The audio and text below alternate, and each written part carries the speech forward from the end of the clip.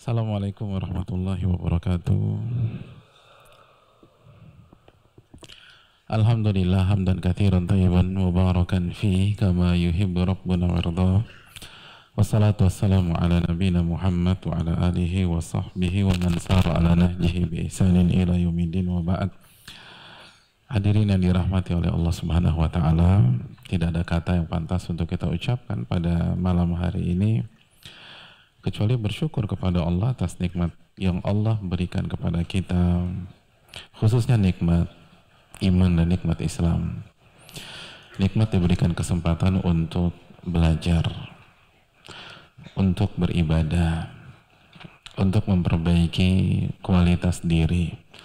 Karena tidak semua seberuntung kita pada malam hari ini atau orang-orang yang sudah punya waktu untuk mengkaji firman-firman Allah dan hadis-hadis Nabi Shallallahu Alaihi Wasallam.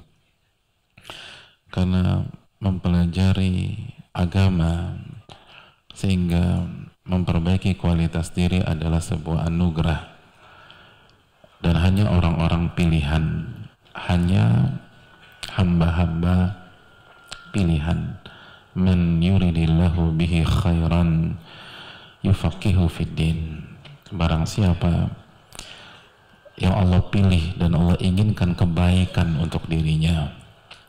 Allah akan pahamkan dia tentang agamanya. Allah akan pahamkan dia tentang agamanya. Sebagian ulama menyatakan dalam bisa yufakihu bisa yufakuhu artinya bukan memaha, bukan hanya dipahamkan tapi Allah akan buat dia memahami dan mengamalkan ilmunya. Mengamalkan ilmunya. Sehingga derap langkahnya sikapnya tutur katanya ilmiah. Semua berdasarkan dalil. Dan itu yang kita inginkan bersama-sama. Karena kita tidak ingin ilmu kita menjadi bumerang pada hari kiamat namun kita ingin ilmu yang bermanfaat. Itulah doa Nabi SAW Allahumma inni as'aluka ilman nafi'a wa rizqan thayyibah wa amalan mutaqabbala. Ya Allah aku ingin ya Allah aku meminta kepada engkau ilmu yang bermanfaat rizki yang baik dan amalan yang diterima. Dan di antara doa beliau Allahumma inni as'aluka ilman nafi'a wa a'udzubika min ilmin la yanfa' Ya Allah aku meminta kepada engkau ilmu yang bermanfaat dan aku berlindung dari ilmu yang tidak bermanfaat. Dan hadirin yang dirahmati oleh Allah Subhanahu wa taala, kita juga meminta kepada Allah agar Allah berikan kita keistiqomahan dan diberikan taufik bukan hanya untuk belajar tapi untuk belajar dengan konsep pola dan pattern para ulama kita. Dengan pola Allah Subhanahu wa taala sebagaimana dalam surat Ali Imran Allah mengatakan walakin kunu rabbaniyin bima kuntum tuallimuna alkitab wa bima kuntum tadrusun.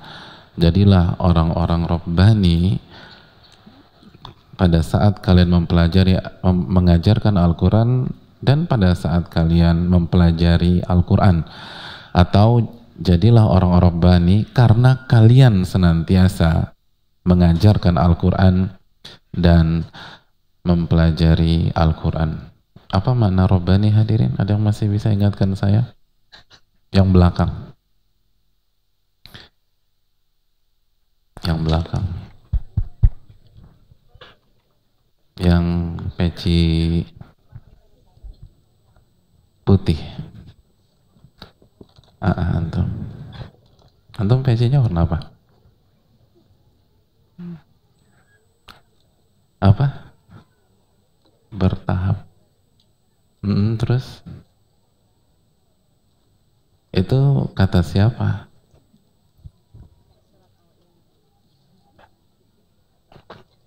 Apa? Masya Allah. Ibn Abbas menyatakan kita ada hadiah kan? Ada nanti di antum kejauhan sih ya. ya jadi ikhlasin aja ya. Ya. Nanti kita kasih. Ibn Abbas mengatakan alladhi rabbin nas bisagharil ilmi qabla kibari. Itu orang-orang yang mendidik manusia mulai dari basic pelan-pelan bertahap sampai perkara-perkara besar. Karena kita syukuri semangat hijrah dan semangat belajar pada hari ini namun tidak semua orang tahu bagaimana pola belajar jadi semangatnya udah ada nih dan kita syukuri banget saudara-saudara kita, teman-teman kita punya semangat belajar. Namun di antara PR-nya banyak yang masih belum tahu bagaimana belajar. Apa yang harus dipelajari pertama kali. Dan banyak yang tidak tahu bahwa kunci sukses itu istiqomah di sebuah majelis. Bukan pindah-pindah dari satu majelis ke majelis yang lain. Kaidah dalam dunia ulama kata para ulama seperti dijelaskan oleh Syekh Saleh Al Utsaimin man sabata nabat. Barang siapa yang istiqomah di sebuah majelis maka dia yang akan tumbuh dia yang akan tumbuh. Antum punya bibit antum tanam di sebuah spot tanah. Tiga hari antum ambil lagi antum pindahin ke spot tanah yang jaraknya 10 meter. Empat hari lagi antum ambil antum pindahin lagi ke spot tanah yang jaraknya 100 meter. Kira-kira tumbuh nggak tuh bibit? Nggak tumbuh. Kalau antum sudah tentukan saya akan tanam di sini udah istiqomah disiram dan dipindah-pindahin jangan dipindah-pindahin jadi istiqomah sabar, sabar, sabar. Makanya kan ulama mengatakan man romal ilma jumlatan zahaba anhu jumlatan.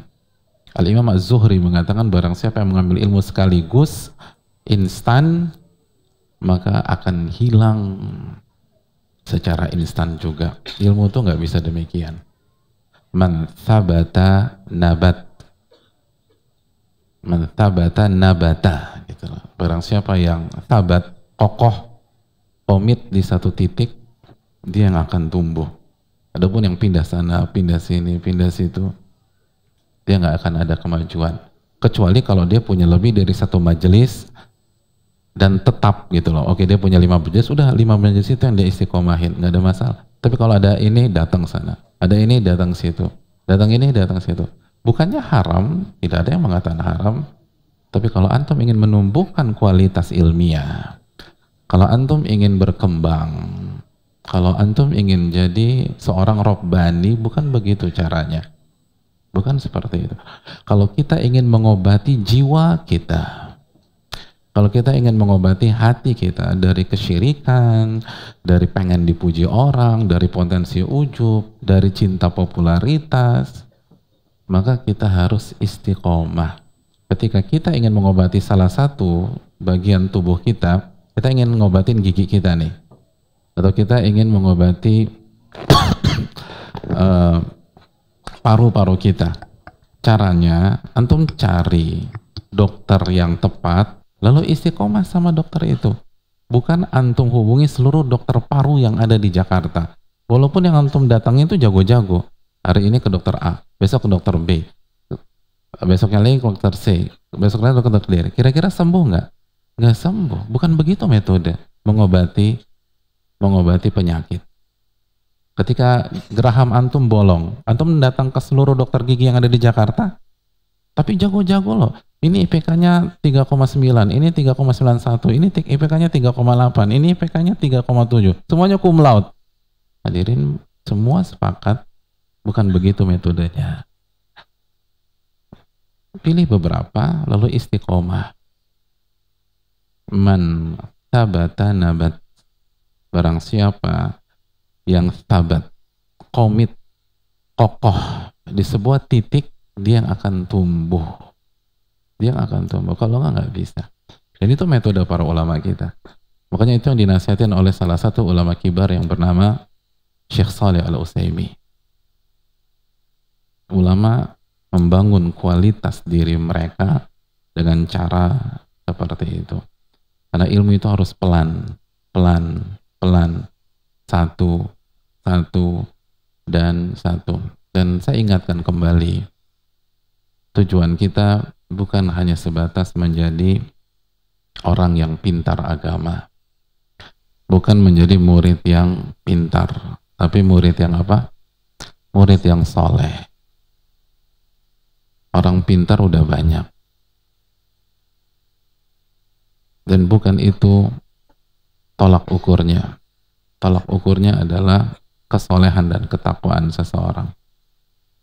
Jadi jangan hanya berambisi, pokoknya aku belajar agama untuk jadi orang pintar. Enggak.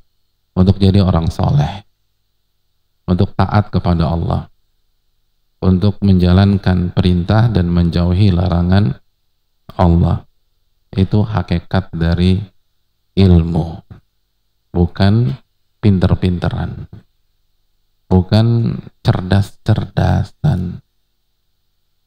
Dan kita sudah menjelaskan betapa banyak orang yang mengandalkan kesukses, eh, kecerdasan dan kepintaran gagal dan itulah yang ditekankan oleh para ulama kita. Ya, hadirin yang dirahmati oleh Allah Subhanahu wa taala. Yang bisa ingatkan ke saya tidak? Kapan sebuah hal difonis sebagai sebuah maksiat sesuai dengan penjelasan Sabtu lalu? Antum. Mm -mm, kenapa tuh?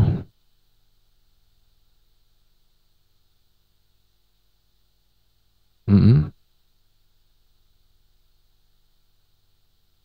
Masya Allah luar biasa.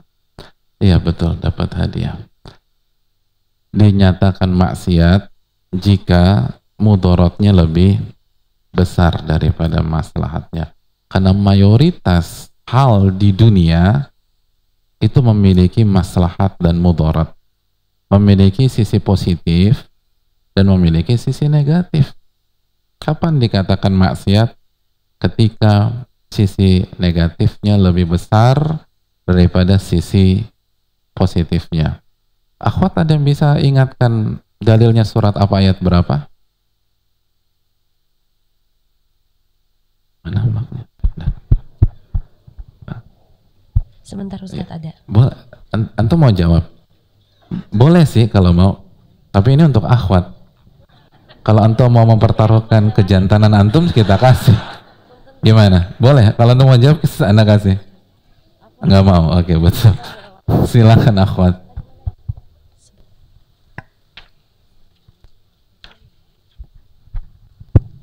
Assalamualaikum Ustaz. Waalaikumsalam. Uh, Quran Surat Al-Baqarah ayat 219. Iya, terima kasih. Quran tentang apa ya ngomong-ngomong? Pada keduanya terdapat dosa besar dan beberapa manfaat bagi manusia. Tetapi dosanya atau mudaratnya lebih besar daripada manfaatnya. Iya, tentang khomer dan judi. Yas'alunaka anil khomri wal maisir. Mereka bertanya kepada engkau tentang khomer dan judi. Kul fihima ithmun kabirun wa manafi'u linnas.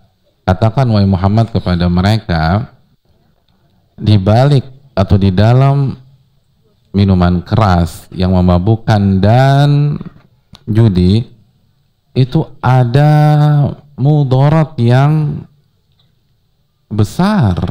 Tapi di waktu yang sama wa manafi'u ada banyak manfaat. Banyak manfaat. Bukan satu bukan dua bukan tiga. Banyak namun wa ithmuhuma akbaru min naf'ihima namun mudaratnya lebih besar daripada manfaatnya. Ya, jazakillah khairan kepada beliau tadi dan ada hadiah. Nah, kita masuk ke poin yang dijelaskan Al-Hafidh Ibnu, Ibnu Rajab. Ini poin ke berapa ngomong-ngomong? Ya. Apa korelasi uh, ilmu dengan rasa takut. Yang ke berapa? Kelima. Oke. Okay. Kata Al-Hafidh Ibnu Rajab, "Annal muqaddim ala muwafaqatil mahdhur innama aujaba iqdamahu alaihi ma fihi min al-ladzatil hasilati lahu bihi. Sesungguhnya yang membuat seseorang itu berani mengerjakan hal yang haram, berani menyeburkan diri ke dalam kemaksiatan,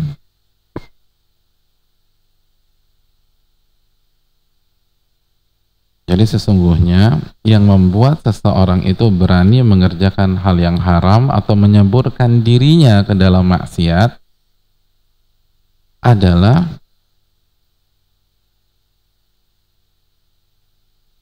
maslahat dan kenikmatan, kelezatan yang ada di dalam maksiat tersebut. Jadi membuat dia mengerjakan maksiat karena kelezatan, maslahat, dan manfaat yang ada di dalam maksiat itu. Itu tuh yang membuat orang minum wine karena ada maslahatnya. Jadi yang membuat dia dorong itu maslahat. Ada orang yang selingkuh karena dia uh, yang mendorongnya itu kelezatan free sexnya itu fadhanna annahu tahsulu lahu ladzatuhu al-ajilatu waraja an yatakhallasa min taba'atihi bisababin minal asbab sehingga dia berpikir, dia berasumsi dia mendapatkan kelezatannya dia mendapatkan kelezatan dari maksiat dia itu dan dia berharap terhindar dari side effect-nya.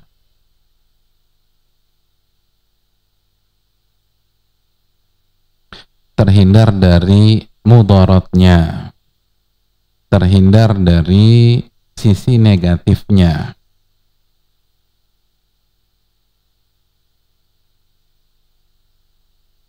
Karena sebuah sebab mungkin. Walau bil afil mujarrad. Kenapa dia bisa terhindar dia berpikir dia bisa terhindar? Mungkin dimaafkan sama Allah. Allah ghafurur rahim. Ah nanti gue juga bisa tobat yang penting rasain dulu nih nikmatnya. Uh, gue rencana mau uh, ngedet uh, mau menikmati nanti kan sepertiga malam terakhir tahajud. Nanti banyak-banyak istighfar deh gue deh gitu. Check out jam satu malam pulang ke rumah tahajud itu 11 rakaat. Allah kan gofurur rahim gitu katanya. Jadi dia berharap bisa nikmatin kelezatannya terus nggak kena negatifnya. Karena sebab dari berbagai macam sebab yang bisa mencegah menurut asumsinya. Menurut asumsinya. Itu tadi. Mungkin dimaafin sama Allah perbanyak istighfar gitulah. Gue udah niat habis pulang clubbing sepanjang perjalanan gue istighfar 100 kali. Tafirullah, tafirullah, tafirullah, tafirullah. Insya Allah nggak kena. Itu tuh. Apa kata Al-Imam Ibn Rajab? Fayanaluhu bihi ladzatan.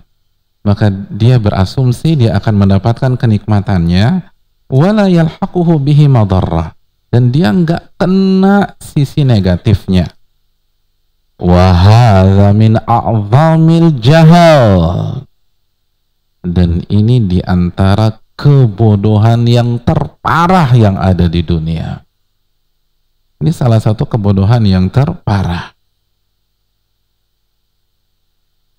itu tuh Udah aku makan riba aja, nanti aku tobat aja sama Allah lah. Insya Allah nggak kena.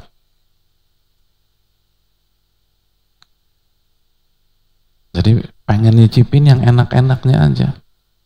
Gitu. Ya pengen nyicipin yang enak-enaknya aja tuh. Dan itu kebodohan. Kenapa kebodohan?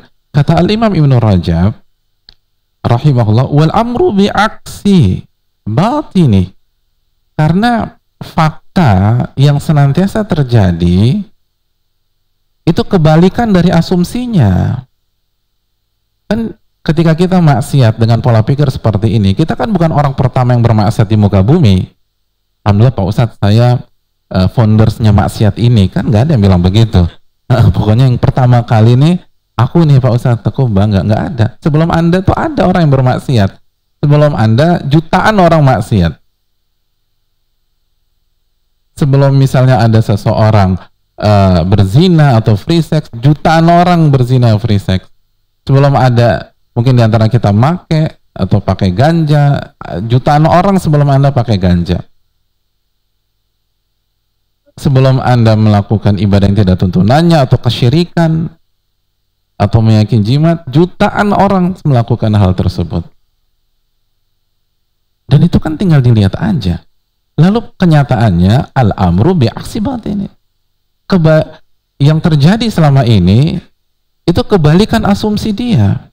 Fa inna dhunuba yatba'uha wa la budda min humumil alami wa dhiqi sadar والنكد وظلمة القلب وقسوته أضعاف أضعاف ما فيها من اللذة yang terjadi adalah dosa itu kata Ibnu Rajab dosa itu itu selalu diikuti dengan kegalauan rasa sakit sempitnya dada dan gelapnya hati. Dan kerasnya hati disebabkan dosa yang kita lakukan itu lebih parah berkali-kali lipat dibanding kenikmatannya. Kenikmatannya. Dan ini dalam. Antum Antum coba renungkan ucapan Ibnu Rajab ini. Jadi dosa itu dosa itu begitu kita kerjakan itu langsung ngundang penyakit-penyakit yang tadi disebutkan. Apa kata Ibnu Rajab? Apa saja? Kata Ibnu Rajab tadi, ah, kegalauan, rasa sakit, sempitnya dada, nggak tenang hadirin. Dan hati itu gelap, hati itu pekat, hati itu nggak nyaman, hati itu gelisah. Iya, hati itu gelisah.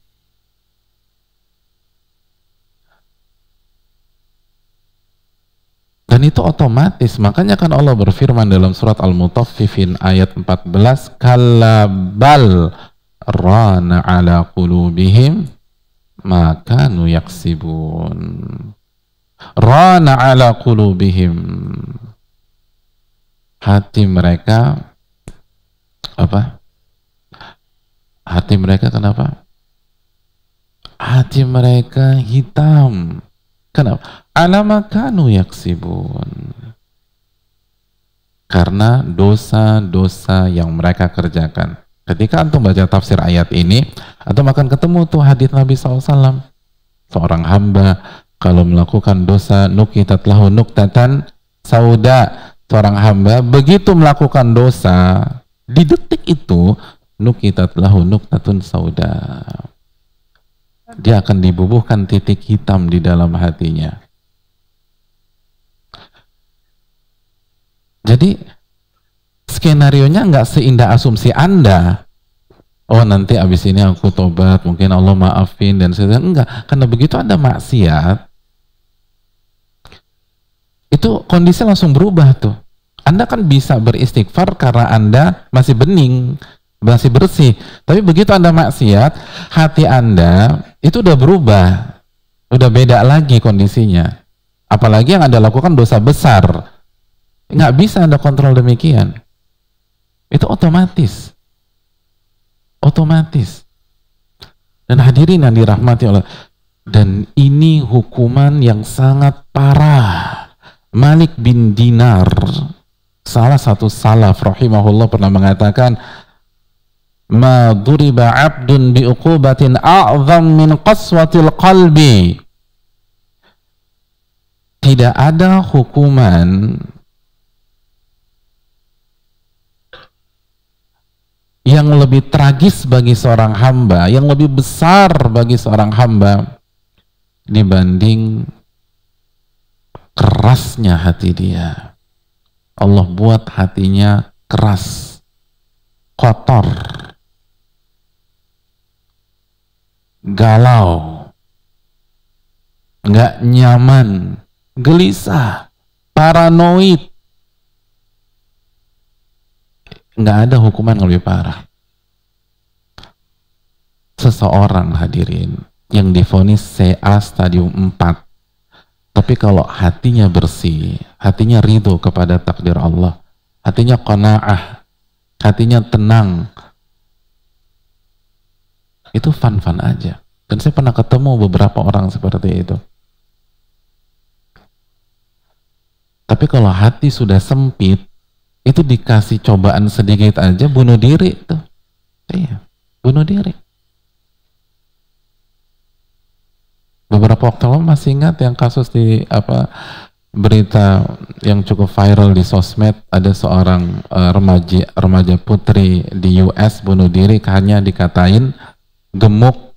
Yang hanya dikatain gemuk bunuh diri. Depan keluarganya. Nabi SAW dikatakan gila 13 tahun santai aja tuh. Tenang. Karena di sini kan bukan di masalah. Bukan di masalah. Makanya Malik bin Dinar mengatakan nggak ada ujian atau hukuman terparah kecuali hati kita berantakan. Karena semua di sini. Intinya tuh ini. Ada seorang di misalnya seseorang kena musibah, uangnya hancur, eh uangnya hancur, uangnya hilang, perusahaannya hancur, tapi kalau hatinya kona'ah dan hatinya merasa kaya, kaya tuh orang. Kan kekayaan hanya tentang rasa hadirin. Apa kata Nabi SAW? Laisal gina bikathratil arat. Kekayaan itu bukan banyaknya harta atau aset. Walakinnal gina gina nafas. Inti kekayaan itu kekayaan jiwa dan hati. Kekayaan itu hanya tentang rasa. Keliru orang kekayaan itu angka. Salah kekayaan itu rasa. Nabi SAW yang mengatakan. Jadi selama antum merasa kaya, kaya tuh, gitu loh. Kaya. Yang jadi masalah hati dihancurin.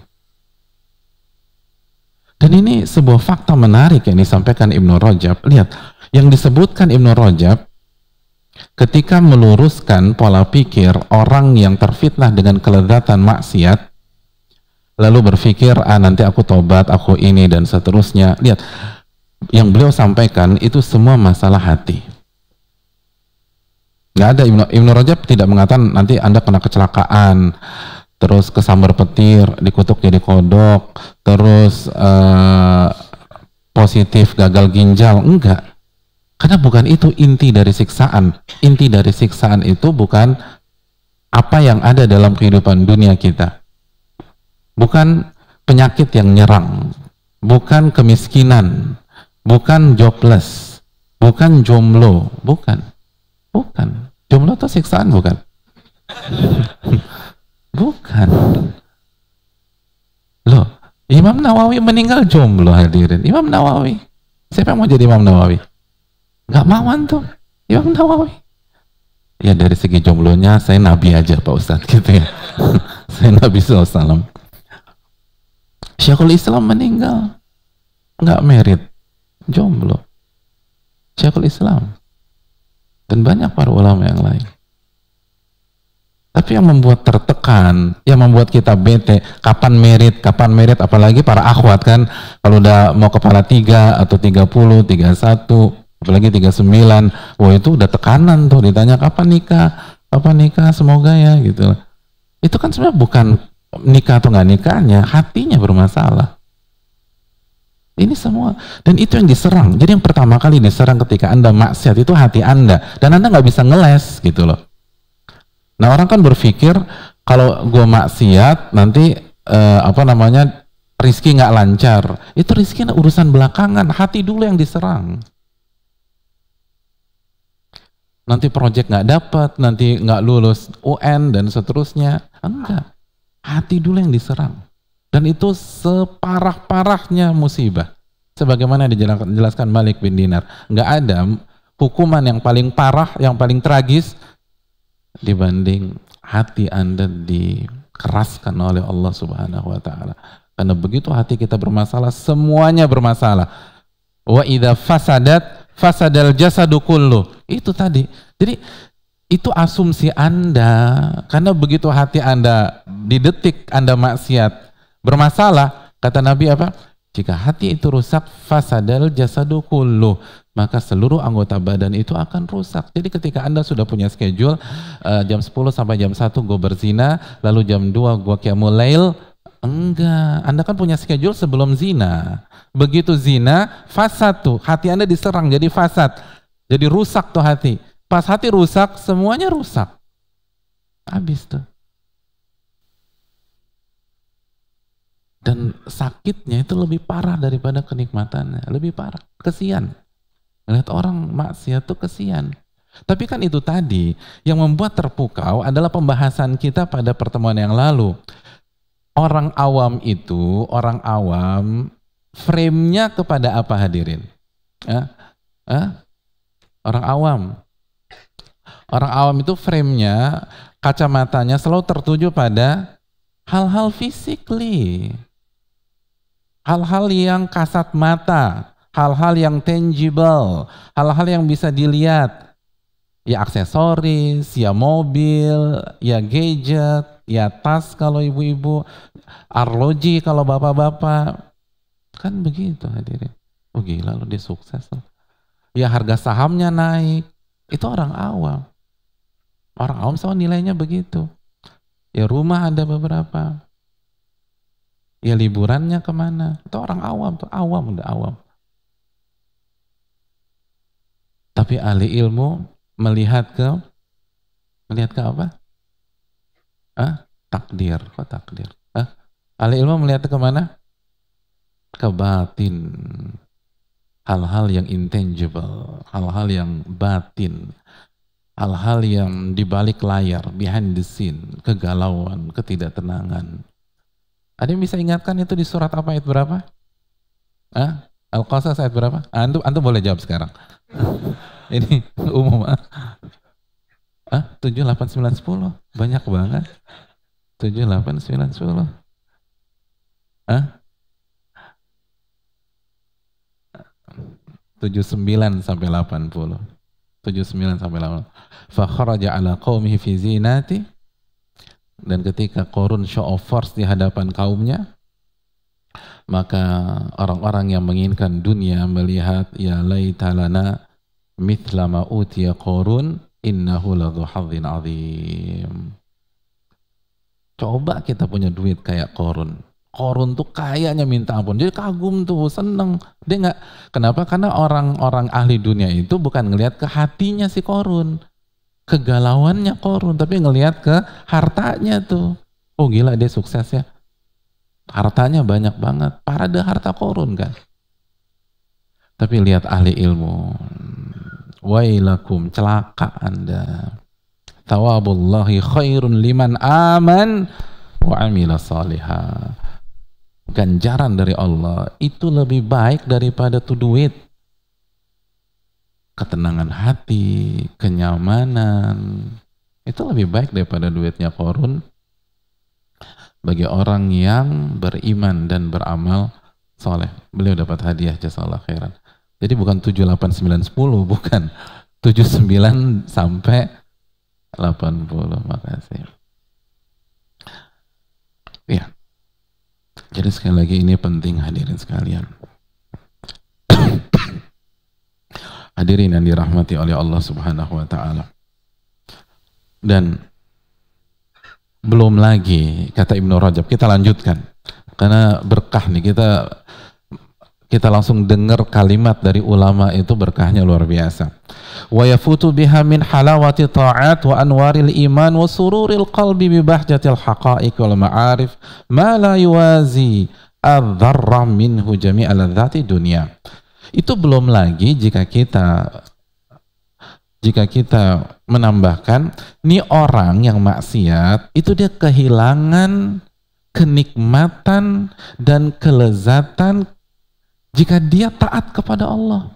Gitu. Itu nih, orang zina dari 10 sampai jam 11. Kalau dia sholat, baca Quran, itu nikmat tuh kata para ulama. Jadi dengan dia maksiat, maka dia kehilangan kenikmatan saat bermaksiat. Kenikmatan manisnya ketaatan. Dan cahaya dari iman. Dan kebahagiaan hati. dan sinar kenyataan dan pengetahuan. Semua itu itu nggak bisa dibandingkan dengan kelezatan sesaat dari maksiat-maksiat tersebut. Nggak bisa udah. Jauh. Jauh. Makanya itu kan ucapan para ulama salaf, "Lau ya'lamul muluku wa abna'ul muluki ma nahnu fi lajaladuna alaihi bisuyuf." Kalau saja para raja dan anak-anak raja itu tahu bagaimana kebahagiaan kita pada saat kita belajar, pada saat kita sholat, pada saat kita puasa, pada saat kita berzikir, maka mereka berusaha merebut semua itu dari kita walaupun harus mencambuk kita dalam riwayat laqataluna wa dakhalu fi. Mereka nggak segan-segan membunuh kita karena cemburu sama kita dan pengen merebut kebahagiaan. Karena mereka nggak ngerti. Mereka pikir dengan cara membunuh kita tuh dapat tuh kebahagiaan itu. Enggak, kebahagiaan itu milik Allah. Karena sekali lagi kesian. Kesian orang yang maksiat hatinya hancur. Allah yang mengatakan hadirin dalam surat Toha 124 man a'rada an dzikri fa inna lahu ma'isyatan barang siapa yang berpaling dari peringatanku berpaling dari agamaku berpaling dari syariatku fa inna lahu dhanka maka dia akan menjalani kehidupan yang penuh dengan derita wa nahsyuruhu yaumal qiyamati a'man. Dan kita akan bangkitkan dia pada hari kiamat dalam kondisi buta dongka dia sengsara. Yang punya alam semesta ini yang bilang dia akan sengsara. Dia akan sengsara. Kalau orang nomor satu di sebuah negara mengatakan dia di penjara ketangkep tuh orang kalau benar-benar ya orang nomor satu di sebuah negara bilang saya mau dia hidup, dia saya mau dia ketangkap hidup atau mati, udah selesai urusannya. Ini yang punya Indonesia, yang punya Asia Tenggara, yang punya dunia bilang nih Allah Subhanahu wa taala, ia berfirman, tuh orang fa inna lahu ma'isyatan Dia akan hidup dengan sengsara. Allah kan nggak bilang dia akan hidup miskin, enggak. Ayatnya nggak bilang dia akan hidup miskin. Allah kan nggak akan Allah nggak bilang dia akan hidup jomblo, enggak. Allah nggak akan bilang eh, Allah nggak bilang dia akan hidup jobless, enggak. Allah bilang dia akan sengsara walaupun kaya. Walaupun kaya. Dia akan sengsara walaupun sukses secara duniawi. Dia akan sengsara walaupun merit Bahkan walaupun mungkin poligami, karena poligami yang tidak sesuai dengan syariat, sengsara dia itu. Orang kan, oh, masya Allah, bini udah tiga atau orang. Ya anda kan nggak lihat orang awam, orang awam kan lihatnya begitu doang, ngelihat angka, nggak melihat apa di balik angka tersebut. Itu orang awam. Orang awam begitu. Allah bilang sengsara tuh orang, sengsara. Lalu anda punya harapan anda akan tetap ber, ber, berpegang dengan asumsi-asumsi tadi nggak bisa. Nah ini kan butuh ilmu hadirin. Dengan dapat ilmu kita jadi takut nih, karena gue nggak mau sengsara. Gue, saya takut kalau saya bermaksiat, saya jadi sengsara. Tapi orang awam santai-santai aja, tenang-tenang aja, tenang-tenang aja.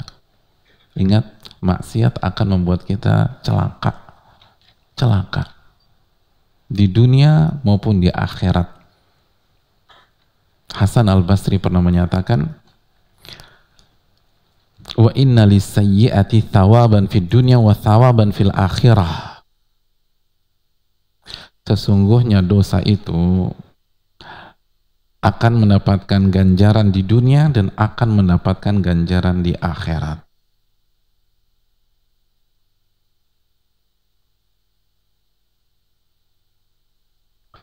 Kena tuh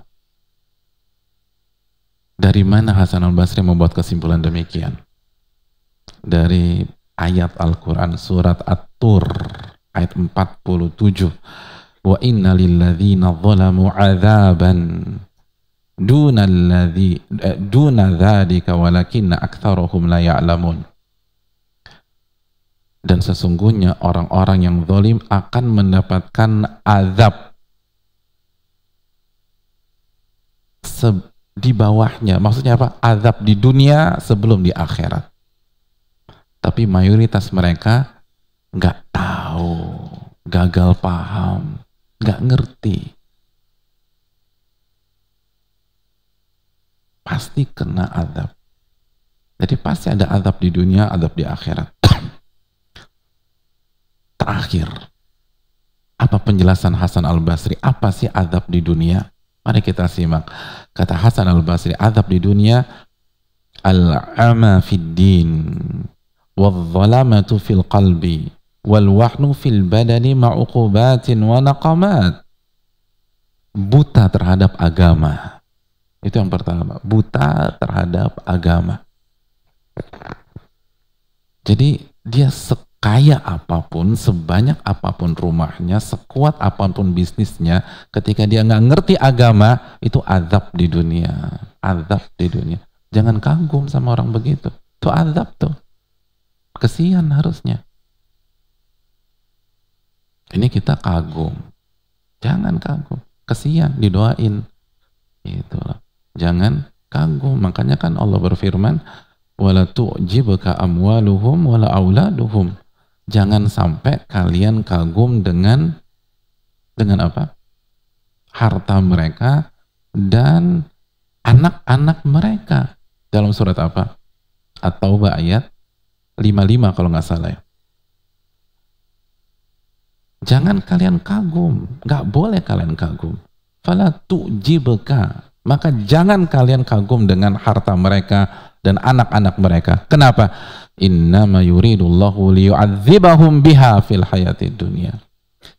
Karena Allah ingin mengadab mereka dengan harta tersebut. Di dunia. Jangan kagum. Salah satu bentuk mereka nggak ngerti agama. Kesian. Kesian.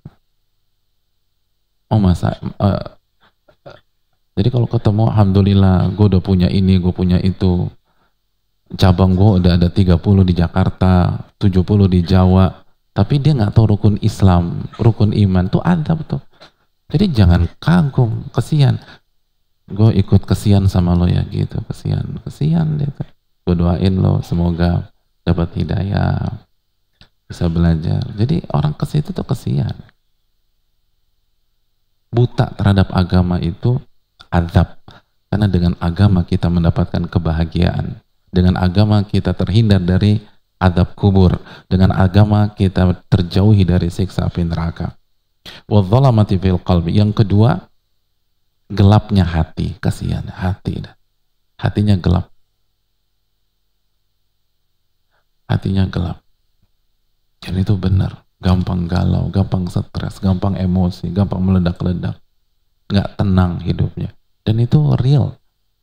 Cuman kita karena selalu ngelihat dari luar, dan lagi-lagi parameternya yang fisik karena keawaman kita, ya kayaknya enak-enak aja tuh hidup, padahal enggak. Dan yang terakhir kata wal wahnu fil badan dan lemahnya badan baru setelah itu fisik diserang jadi hati dulu yang diserang baru fisik kata Hasan al Basri kelemahan di badan ma'ukubat wa naqamat. Bersamaan dengan bencana dan musibah yang lain. Gitu hadirin. Jadi memang serangan-serangan pertama tuh orang nggak lihat. Karena hati kita yang langsung diserang. Karena maksiat tersebut. Dan udah hati habis semuanya. Karena itu sumber dari kebaikan anggota tubuh kita. Ini yang bisa disampaikan uh, sebelum kita salat isya Insya Allah kita lanjutkan. Wassalamualaikum ala nabiyina Muhammad wa ala alihi washabihi ajma'in. Assalamualaikum warahmatullahi wabarakatuh. Alhamdulillah hamdan kathiran tayyiban mubarakan fi kama yuhibbu rabbuna wa radha wa salatu wassalamu ala nabiyina Muhammad wa ala alihi wa sahbihi wa man sara ala nahjihi bi ihsanin ila yaumidin wa ba'd Hadirin yang dirahmati oleh Allah Subhanahu wa taala. Eh, sebagaimana yang telah kita sampaikan penjelasan Hasan Al-Basri bahwa setiap dosa itu akan punya side effect di dunia maupun di akhirat. Dan di dunia adalah kegelapan dalam agama atau kebutaan dalam agama, lalu kegelapan di dalam hati, lalu badan tuh lemah dan terbukti kan banyak sekali maksiat itu akan menyerang fisik kita secara langsung, secara direct atau maupun secara tidak tidak langsung. Atau banyak penyakit uh, fatal disebabkan dari sebuah perzinaan, ya AIDS lah, ya sifilis lah, ya raja singa, ya herpes dan seterusnya. Uh, uh, lalu rokok menyebabkan kanker paru-paru, banyak yang begitu juga dengan minuman-minuman keras dan lain sebagainya. Uh, maupun secara tidak langsung. Jadi jelas itu akan melemahkan badan kita. Lalu Hasan al Basri menjelaskan adapun uh, di akhirat kata beliau suhtullahi azza wa jal nar. Murka Allah dan klimaksnya adalah neraka yang akan mengadab dia. Jadi itu yang perlu kita pertimbangkan hadirin yang dirahmati oleh Allah Subhanahu wa taala. Adapun kebaikan, ketaatan dan ketauhidan itu punya ganjaran di dunia dan di akhirat kata beliau. Adapun di dunia al-basaru fid din dia akan dapat melihat agamanya sendiri. Jadi setiap beribadah itu akan membuat dia mampu membaca agamanya sendiri. Jadi ngaji jadi semangat, uh, baca buku agama jadi semangat, dengar kajian jadi semangat. Jadi coba antum lihat deh, kalau kita maksiat itu ngaji pasti males. Uh, kalau datang pun eh, nggak uh, connect, mungkin ada yang tidur, uh, bahkan udah persiapan doanya juga Bismillahirrahmanirrahim amutu wa ahya. Dan uh, kalaupun dia nggak tidur dia akan ngobrol sana ngobrol sini. Dia nggak akan mendapatkan substansi dari uh, kajian tersebut. Karena itu tadi itu dampak maksiat. Jadi lihat aja kalau ada orang di kajian ngobrol sana ngobrol sini dan dia nggak fokus itu maksiat tuh. Itu maksiat. Tapi antum jangan jas orang. Eh lo maksiat pasti tadi deh coba ngaku dan seterusnya. Enggak uh, bukan uh, bukan uh, kewajiban kita demikian dan bukan wewenang kita. Tapi coba kita evaluasi diri kita sendiri. Kita evaluasi diri sendiri. Pasti itu maksiat. Karena kalau maksiatnya uh, berkurang atau komit untuk tidak bermaksiat itu al dia akan melihat dia akan belajar dia akan semangat dalam memahami agama itu udah konsekuensi. Itu udah konsekuensi. Wan nuru fil qalbi. Ya uh, sederhana aja ya. Uh, ketika misalnya di dunia olahraga deh ketika sebuah tim mainnya buruk itu berarti sebelumnya latihannya nggak bener. Itu udah konsekuensi jadi persiapannya nggak bagus. Kenapa mainnya buruk jadi nggak perlu kita just ini udah jelas. Ya sama aja. Orang yang pas event itu kajian itu ngobrol nggak serius tidur dan seterusnya itu pasti sebelumnya ada masalah. Jadi pahami nggak? Sebelumnya ada masalah. Jadi gampang banget gitu loh. Asal kita punya ilmunya, itu semua sunatullahnya jelas hadirin.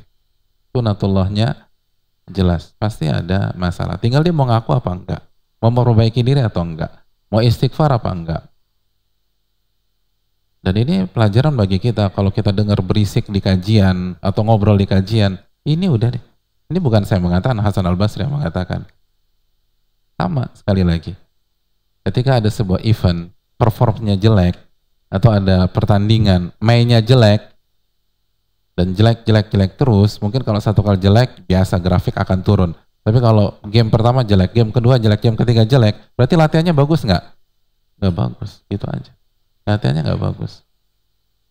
Kalau di kajian pertama ngobrol, kajian kedua ngobrol, kajian ketiga ngobrol, berarti kehidupannya bagus apa enggak? Nggak bagus. Kehidupannya nggak bagus. Terlepas packagingnya bagus, casingnya bagus, busananya bagus, busana bisa satu hari hadirin. Kamu cari di toko online juga bisa. Tapi kan pattern hidup sehari-hari itu yang menentukan. Terus wan nuru fil qalbi dan cahaya di dalam hati kita cahaya di dalam hati kita. Wal quwa fil badani ma suhbah hasanah jamilah.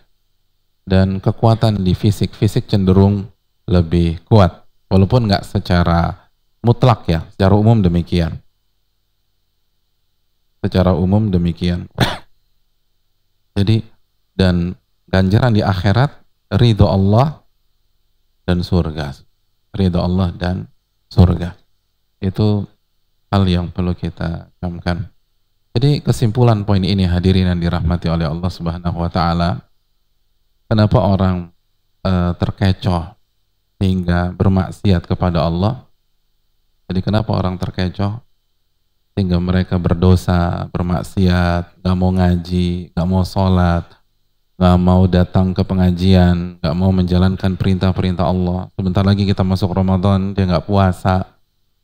Karena yang pertama, lagi-lagi, karena setiap maksiat atau dosa ada sisi maslahat dan mereka terkecoh dengan kelezatan maslahat tersebut. Kelezatan dosa tersebut. Itu membuat dia terkecoh. Yang kedua, lagi-lagi maksiat itu cenderung cocok dengan nafsu kita. Wahuffatin naru bisyahawat.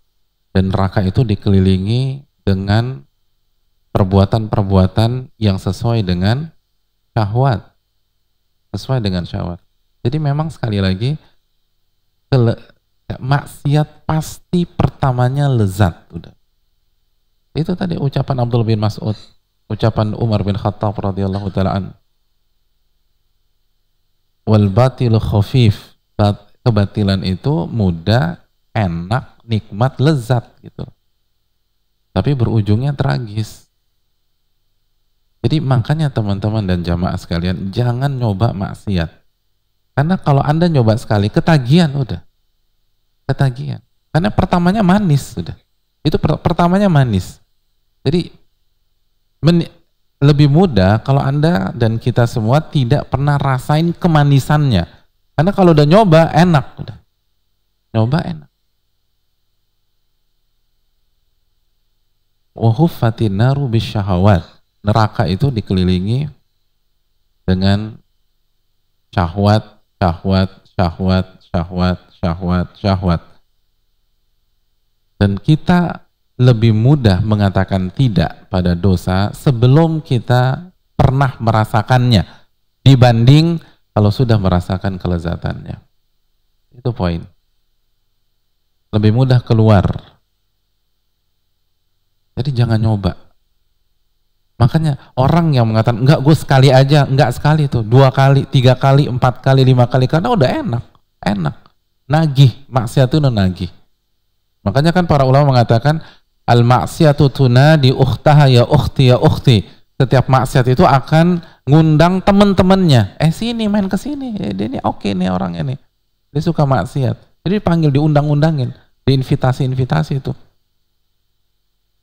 Dan sekali lagi maksiat punya sisi nikmat dan lezat dan ini yang membuat kita terkecoh.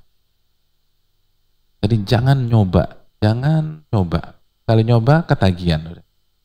Jarang ada orang yang nyoba langsung berhenti. Gitu. Jarang. Nyoba pasti lagi, lagi, lagi, lagi, lagi, dan lagi. Nambah, nambah, nambah, nambah, akhirnya habis. Terus berikutnya kesimpulan dari uh, pertemu, uh, pembicaraan tadi, para ulama mengatakan begitu kita maksiat, hati kita langsung terserang. Hati kita langsung terserang. Jadi gimana mau move on dengan cepat? Wong yang kondisi fit aja, Anda kalah. Sebelum Anda bermaksiat, kondisi hati Anda masih oke okay nih. Lalu Anda maksiat, itu langsung keserang tuh. Langsung diserang. Nukitat lahu nuktatun sauda, kata Nabi, dipubuhkan titik hitam. Ya otomatis kalau kita nggak bisa bersabar pada saat kondisi oke, okay, akan lebih berat lagi bersabar ketika kondisi udah penyakitan atau berada di kursi pesakitan. Dan itu yang terjadi di banyak orang. Hati udah udah lemah, udah galau, bingung, udah down, udah nggak bisa bertahan. Semangat untuk kajian tuh akan turun, turun, turun. Ketika lagi semangat Anda nggak datang, ya apalagi pas nggak semangat ya nggak bisa. Jadi itu efek domino yang sangat yang sangat parah.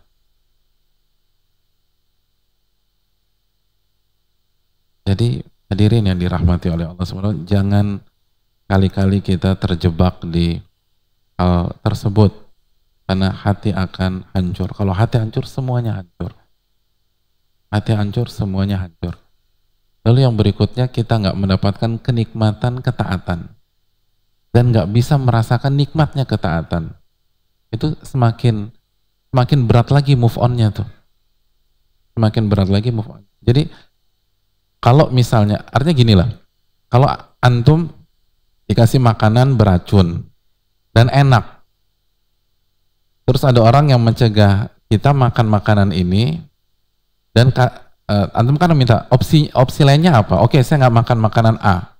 Opsinya apa? Dikasih makanan B. Ternyata makanan B nggak enak gitu loh. Kita kan akan cenderung tetap makan yang A walaupun itu beracun. Dan kita tidak meyakini bahwa itu beracun. Kan kita biasanya, apalagi orang awam kan taste-nya aja.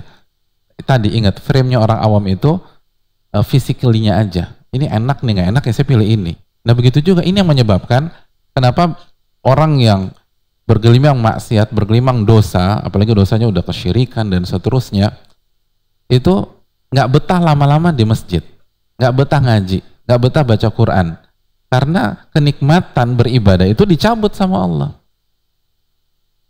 Dicabut. Ya, jadi wajar. Di masjid nggak enak, di klub tuh enak. Di masjid nggak enak, di pub tuh enak. Di masjid nggak enak, di panti pijit enak. Ya itu itu kondisinya. Karena sekali lagi kenikmatan berma, eh, kenikmatan ketaatan tuh dicabut. Dicabut. Jadi nggak ada betah-betahnya.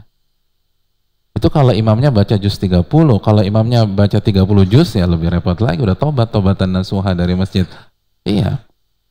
Udah nggak nggak betah udah. Gerah. Karena kenikmatan nur itu dicabut sama Allah. Itu yang terjadi. Beda kan kalau misalnya eh, apa namanya dia maksiat enak terus pen, jadi dia misalnya itu tadi misalnya maksiat jam 12 enak banget terus jam 3 dia tahajud lebih enak lagi. Kayaknya gue pilih jam 3 aja deh. Jam 3 lebih enak. Tapi kenyataan nggak demikian. Begitu anda maksa jam 12 kalaupun anda sholat jam 3 nggak enak rasanya beda rasanya beda karena hati itu pekat ketika ketika beribadah nggak akan khusyuk nah itu yang dilupakan karena banyak orang mengaitkan musibah dan kegagalan hanya dari sisi fisik mereka tidak menganggap khusyuk dalam sholat kegagalan khusyuk dalam sholat itu adalah sebuah kegagalan. Mereka tidak menganggap uh, ketidakikhlasan dalam ibadah adalah sebuah kegagalan. Mereka tidak menganggap ketenangan dalam hidup adalah sebuah kegagalan. Karena selalu orang awam sekali lagi fisik, fisik, fisik, fisik. Materi, materi, materi, materi. Padahal Malik bin Dinar mengatakan tidak ada hukuman yang lebih parah daripada hati Anda dikeraskan sama Allah sehingga anda nggak bisa khusyuk nggak bisa nangis ketika ibadah nggak bisa zikir dengan nikmat nggak bisa menikmati lantunan Al-Quranul Karim oh itu fatal itu fatal Hati itu kalau udah hancur tuh fatal. Makanya hadirin Ibnul Qayyim mengatakan, kalau kata Ibnul Qayyim, mayoritas doa ketika kondisi sangat genting itu pasti ada atau biasanya ada kalimat tauhid. Apa doanya Nabi Yunus? Eh, doanya Nabi Yunus. La ilaha illa anta subhanaka inni kuntu minal zalimin. La ilaha illa anta Subhanaka ini kuntu minal zalimin. Ada kalimat tauhid apa tidak? La, la ilaha illa anta tidak ada zat yang berhak diibadahi kecuali engkau. Subhanaka maha suci engkau. Ini kuntu minal zalimin. Dan aku termasuk orang-orang yang zalim. Kenapa dalam kondisi-kondisi berat, tekanan, kegentingan, doanya memiliki unsur tauhid dan ada kalimat tauhid karena kata para ulama yang bisa membuat kita bertahan dari tekanan hidup, musibah hidup, bencana hidup jika hati kita mentauhidkan Allah Subhanahu wa taala.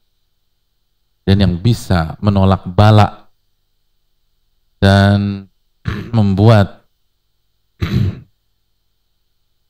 secercah cahaya itu bersinar setelah gelapnya ujian dan musibah adalah tauhidullah dan yang membuat kita tersenyum di atas puing-puing masalah adalah ketika kita hanya beribadah kepada Allah Subhanahu wa taala. Jadi hati bertauhid itu sebuah solusi.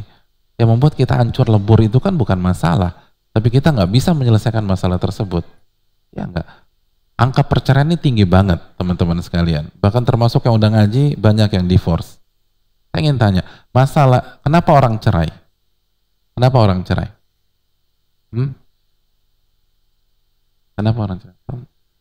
Susah kalau nanya sama orang yang nggak berpengalaman ya. Nggak nggak tahu jawabannya. Kenapa orang bercerai? Karena banyak masalah? Bukan. Kalau cerai itu karena banyak masalah, antum cerai semua nanti. Cerai. Siapa yang nggak punya masalah dalam pernikahannya? Gak ada. Gak ada. Semua banyak masalah. Siapa yang punya satu, dua, tiga masalah? Siapa yang di, masalahnya di bawah 20? Gak ada udah. Kelihatan. Mukanya kelihatan banyak masalah. Iya. Dan saya juga banyak masalah. Yang buat orang cerai itu punya masalah, nggak bisa menyelesaikan. Itu orang cerai. Jadi nggak bisa menyelesaikan itu cerai. Kalau semua masalah bisa diselesaikan, clear. Dan itu tadi kata Ibnu Qayyim, kuncinya tuh hati bertauhid kepada Allah. Hati terus. Makanya doanya tuh ada kalimat tauhid. Makanya doa kesedihan apa yang panjang itu?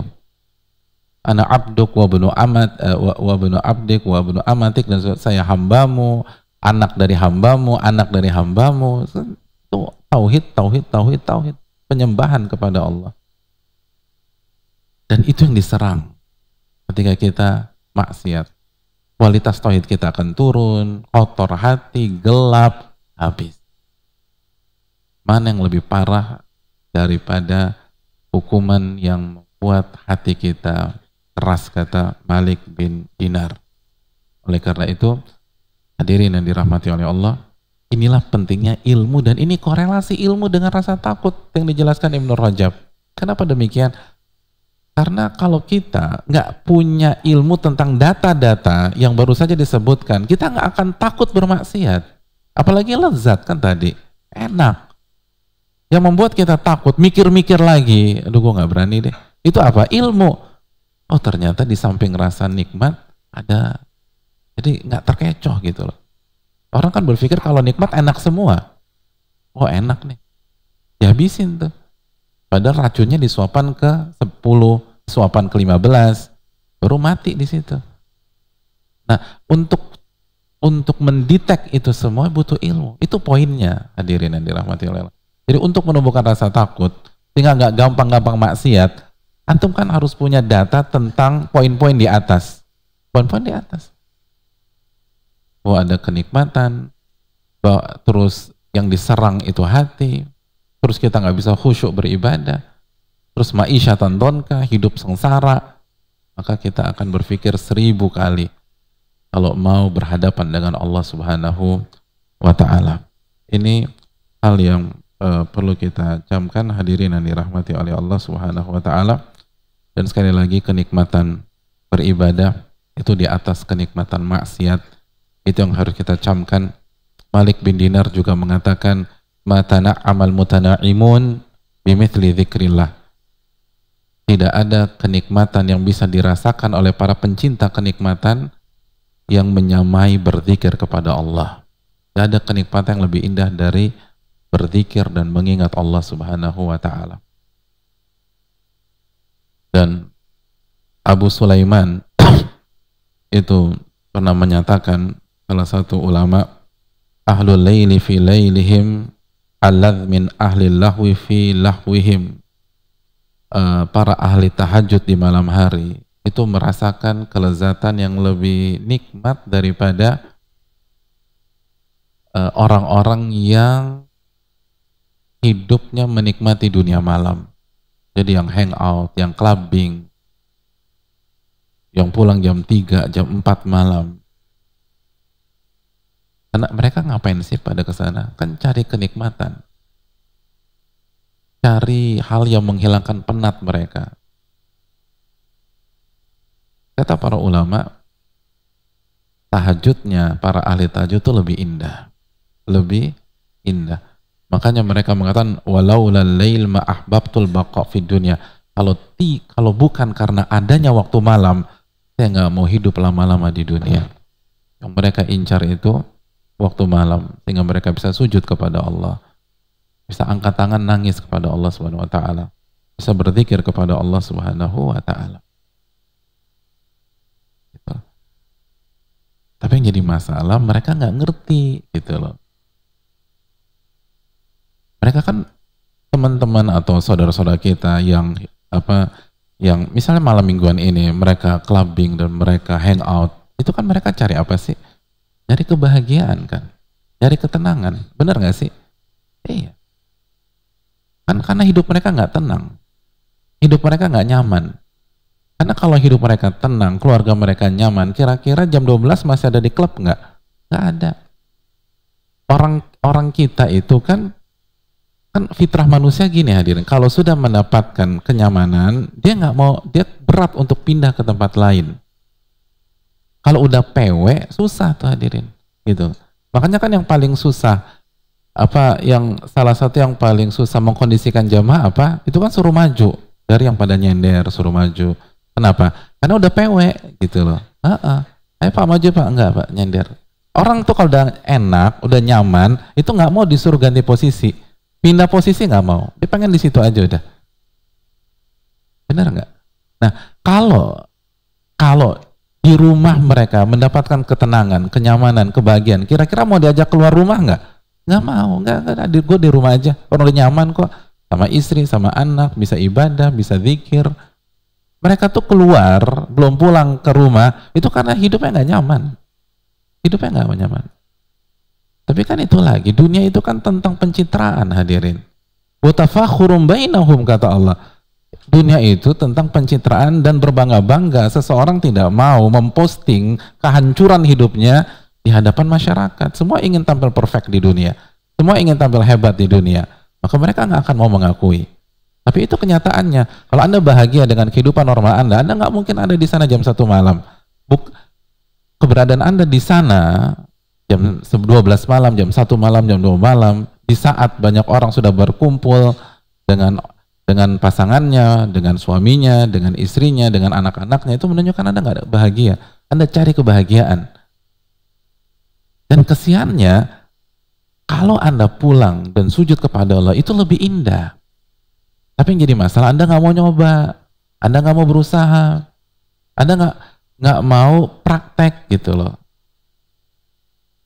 Jadi Anda merasa kehidupan Anda ini udah paling keren, udah yang paling nyaman, udah yang paling kece, udah yang paling asik itu. Itu sama aja di sebuah uh, kota, sebuah kota yang ada hanya mobil Avanza misalnya. Nggak ada Alphard di sana. Jadi sehingga orang yang paling kaya merasa Avanza udah paling canggih udah. Gitu. Makanya begitu ngeliat orang Alphard, oh nggak enak nih mobil kegendutan, mendingan Avanza gua keren. Karena dia belum pernah masuk tuh. Coba masuk deh. Baru anda diem tuh. Iya, benar. Karena selama ini nggak pernah nyoba, nggak pernah lihat. Jangan nggak nyoba, nggak lihatnya nggak pernah. Jadi seakan-akan itu mobil dia yang paling keren. Begitu kan?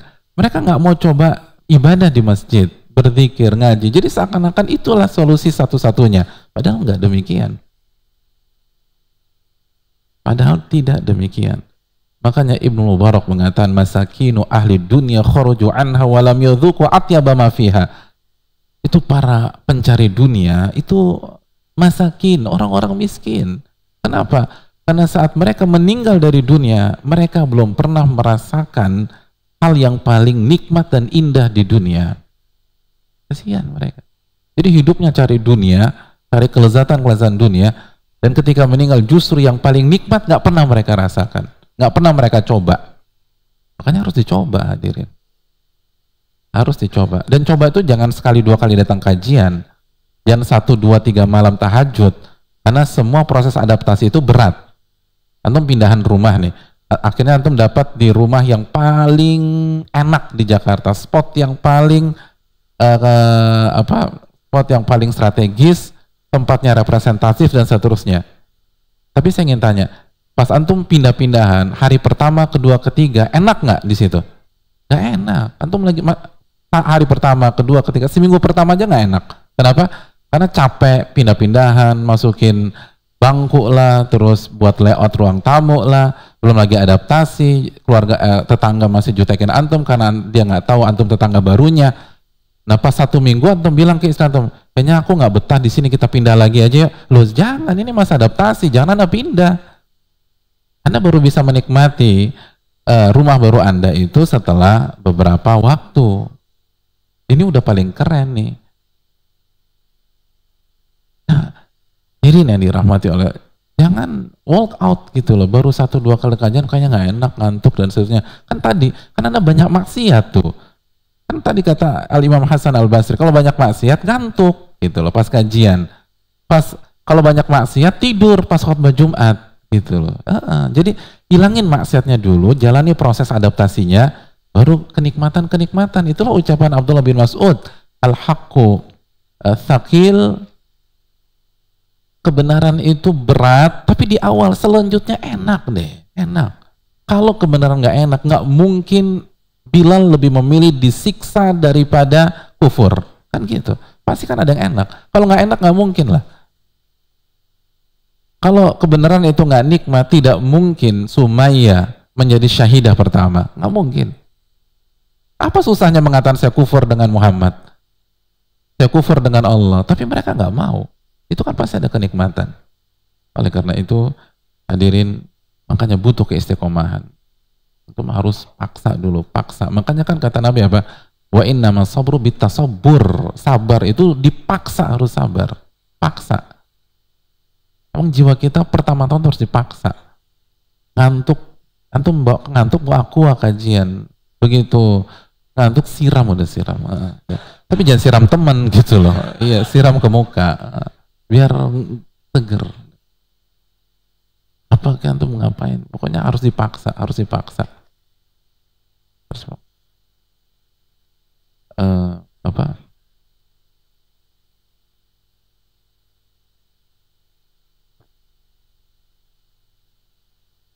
Pelabuhan. Oh ya itu waktu saya mondok di uh, Surabaya itu ada ada teman-teman itu yang udah belajar kecapean, ngantuk, itu semua cari ide masing-masing untuk menghilangkan ngantuknya. Cari ide tuh. Mereka maksa. Pokoknya saya nggak boleh tidur, saya harus belajar, saya harus belajar, saya harus belajar. Saya, lihat ada kakak kelas saya itu jam 11, jam 12 malam, ada yang lari-larian gitu, bolak-balik lari. Bayangkan 11, 12 lari-larian. Biar ngilangin rasa ngantuk. Itu lari, itu lari, lari, gitu. Kasihan ya orang. Kalau nggak tahu itu dipikir kesurupan. Jam 11 iya benaran 11 malam. Lari-larian. Pas sudah keringetan seger baca lagi dia. Itu. Ada salah satu kakak kelas saya. Itu biar dia harus merojaah Qurannya, harus merojaah Qurannya, tapi ngantuk kan. Itu bisa jam 11 sampai jam 2 itu merojaah sambil jalan sampai ke Tanjung Perak, Surabaya. Tanjung Perak tuh. Kita di daerah eh, apa? Dulu di Ali Irsyad ya. Di Masjid Ali Irsyad. Jadi dari Masjid Ali Irsyad ke Tanjung Perak. Baca Quran, balik lagi. Biar kalau karena kalau duduk gini kan tidur gitu loh. Ya kan pengalaman antum kan kalau baca Quran paling bertahan berapa lama? Biar nggak tidur dia jalan, jalan sampai Tanjung Perak balik lagi. Terus masuk jam 2, jam 3 malam. Harus dipaksa, kalau nggak nggak bisa. Orang-orang besar itu itu berusaha semaksimal mungkin. Lan yunalul ilmu birahatil jasad kata para ulama. Ilmu itu nggak bisa didapatkan dengan jasad yang sukanya santai-santai. Nyaman ngobrol kongkong ngupi-ngupi nggak bisa tuh harus semangat. Wong untuk dapat dunia aja jungkir balik masa dapat akhirat nggak jungkir balik dan bisa bisa dan nggak ada kata terlambat saya tahu ada seorang ustadz, kalau saya sebut nama beliau, Hafizahullah Ta'ala, antum banyak dari antum yang pasti akan tahu beliau.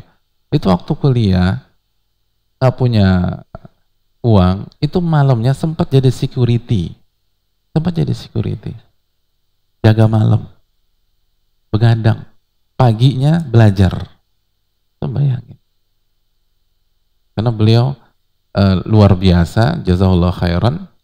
Uh, terus uh, punya kesempatan belajar sudah apa uh, usianya lebih tua dari kita kita anaknya udah banyak jadi beliau harus punya pemasukan tapi semangat belajar agamanya tinggi akhirnya begitu belajar paginya sampai siang malamnya security tapi itu tadi yarfa'illahu ladina amanu minkum waladina utul ilmu darajat Allah mengangkat derajat orang-orang yang beriman dan berilmu beberapa derajat sekarang beliau diangkat derajatnya sama Allah Subhanahu wa taala dan semoga Allah jaga keistiqomahan beliau.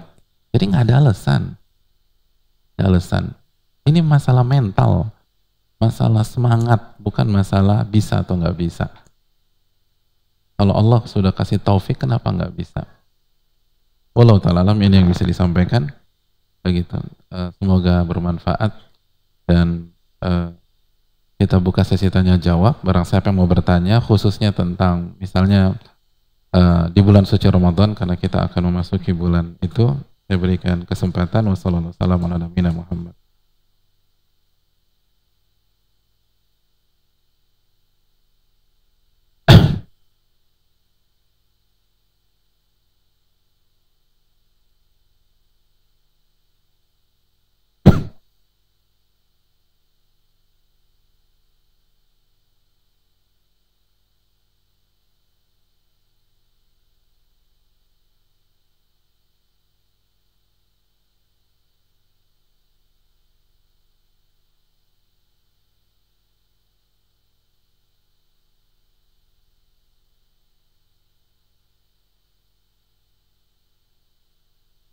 Uh, pertanyaan Assalamualaikum warahmatullahi wabarakatuh Waalaikumsalam warahmatullahi wabarakatuh uh, Tadi Ustadz menyebutkan menuntut ilmu jangan pindah-pindah tempat Namun bagaimana bila menuntut ilmu pindah-pindah tempat tetapi tetap satu madhab Atau karena berdasarkan tema yang dibahas Ya terima kasih Antum madhab apa sih?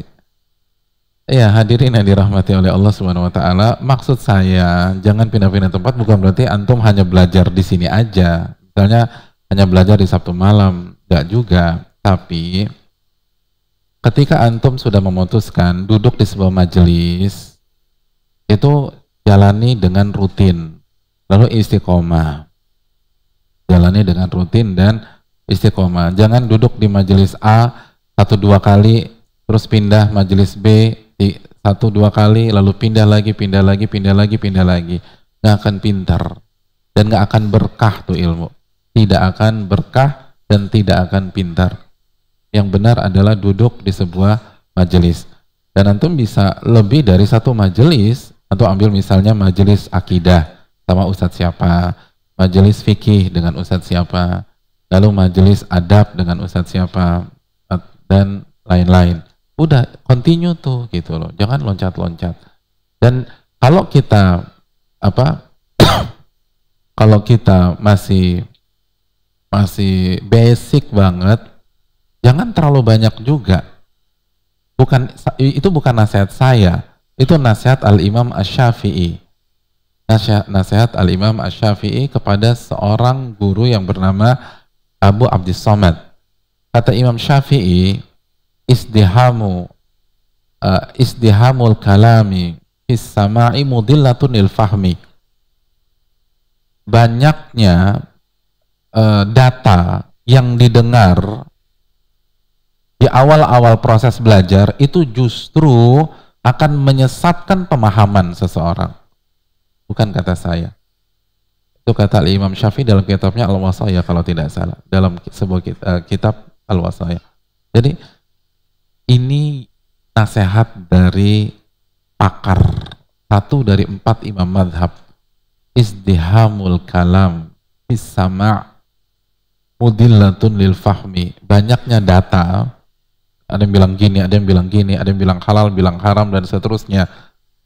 Di awal-awal belajar itu justru bisa menyesatkan pemahaman, membuat bingung. Membuat bingung. Makanya seluruh madhab fikih ketika mengajarkan sebuah eh, mengajar mengajarkan madhab mereka masing-masing itu langsung dijelaskan khilaf apa tidak? Tidak. Antum disuruh belajar matan yang tipis dan tidak ada khilaf sama sekali di matan tersebut. Tidak ada khilaf sama sekali di matan tersebut. Itu metode. Nah, dengan ketika ada orang yang belajarnya pindah-pindah sana, kira-kira yang didengar satu satu frekuensi atau banyak frekuensi? Nah, itu kan bikin bingung. Itu bukan metode para ulama.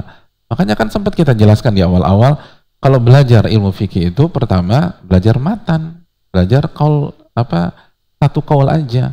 Lalu selesaikan dari awal sampai akhir. Begitu selesai ngapain? Ulang lagi tetapi di level yang lebih tinggi intermediate misalnya belajar dengan khilaf dalam madhab lalu begitu hatam dari toharoh sampai selesai baru ningkat lagi belajar fikil mukoron khilaf antar madhab. Makanya karena prosesnya begitu sistematis maka hasilnya juga kuat. Dan begitu semuanya kan semuanya demikian. Bidang mana pun demikian. Di bidang mana pun antum nggak mungkin diajarkan khilaf di awal. Nggak mungkin dijelaskan perbedaan di awal nggak mungkin belajar apalah belajar fisika siapa yang hobi fisika di sini eh, semuanya dari wajah-wajah antum sih fisikawan fisikawan semua dalam ilmu fisika ada khilaf apa enggak Siapa sih yang fakultas fisika sih siapa? Coba angkat tangan. Ada. Nggak ada yang jurusan fisika. Dalam ilmu fisika ada khilaf apa enggak? Ada kan? Ada. Ya simpel aja lah. Teori fisikawan yang baru meninggal, Stephen Hawking. Misalnya teori dia uh, alam semesta ini terjadi karena apa? Teori apa? Big Bang. Teori Big Bang itu khilaf apa tidak? Khilaf. Khilaf. Tapi saya ingin tanya, kapan pertama kali antum belajar fisika? Hmm? TK0 kecil, TK0 besar? Kalau saya SM, SM apa sih? Kita kapan sih Pak belajar? Nah, era kita SMP, SMP, SMP. Antum belajar khilaf ketika fisika SMP? Gak ada khilaf di sana. Nggak diajarin khilaf. Semua satu pandangan dulu. Baru nanti kalau antum masuk S1 mungkin S2 baru antum belajar khilaf. Harusnya kan semua bidang demikian. Yang jadi masalah sekarang ini dunia informasi dibuka oleh Allah Subhanahu wa taala. Dan semua referensi bisa kita dapatkan modal jempol. Jadi orang-orang yang newbie-newbie dalam masalah ilmu yang baru-baru itu langsung uh, pendapat A, pendapat B, pendapat C, pendapat D dan bingung sendiri. Dan itu bukan metode belajar. Jangan bicara masalah hilaf dan jangan buka pintu itu ketika antum baru belajar. Antum belajar bertahap. Dan maksudnya apa? Korelasinya dengan yang pertanyaannya. Dengan antum ke mana-mana, itu kan berarti antum akan membuka kedua telinga antum untuk mendengarkan khilaf. Benar apa tidak? Iya, karena saya ingin tanya, ketika antum pergi ke datengin semu, misalnya banyak sekali majelis, kira-kira pandangan ustadznya sama semua apa tidak? Enggak. Jadi selesaikanlah misalnya bab akidah dengan Ustadz A yang memang kuat akidahnya. Lalu uh, dengan Ustadz B misalnya atau mungkin Ustadz A juga karena sama-sama kuat. Udah istiqomah. Nanti begitu basic antum kuat, antum baru lihat atau antum baru kembangkan ilmu antum yang lain. Semua demikian hadirin sekalian. Wallahu taala alam.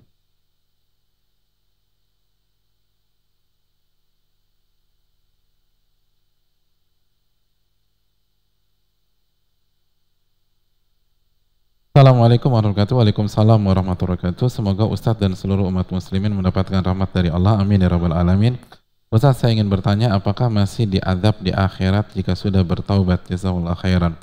Ya terima kasih atas pertanyaannya. Uh, jika kita sudah bertaubat, Nabi SAW bersabda, Ada ibu minadzan bi kaman la dzambalah. Kaman la dzambalah. Orang yang bertaubat seperti dia tidak berdosa sama sekali. Maka insya Allah tidak di azab pada hari kiamat jika taubatnya taubatan nasuha. Jika taubatnya taubatan nasuha. Tapi kalau taubatnya tidak diterima, ini yang jadi ini yang jadi masalah. Ini yang jadi masalah hadirin yang dirahmati oleh Allah Subhanahu wa taala.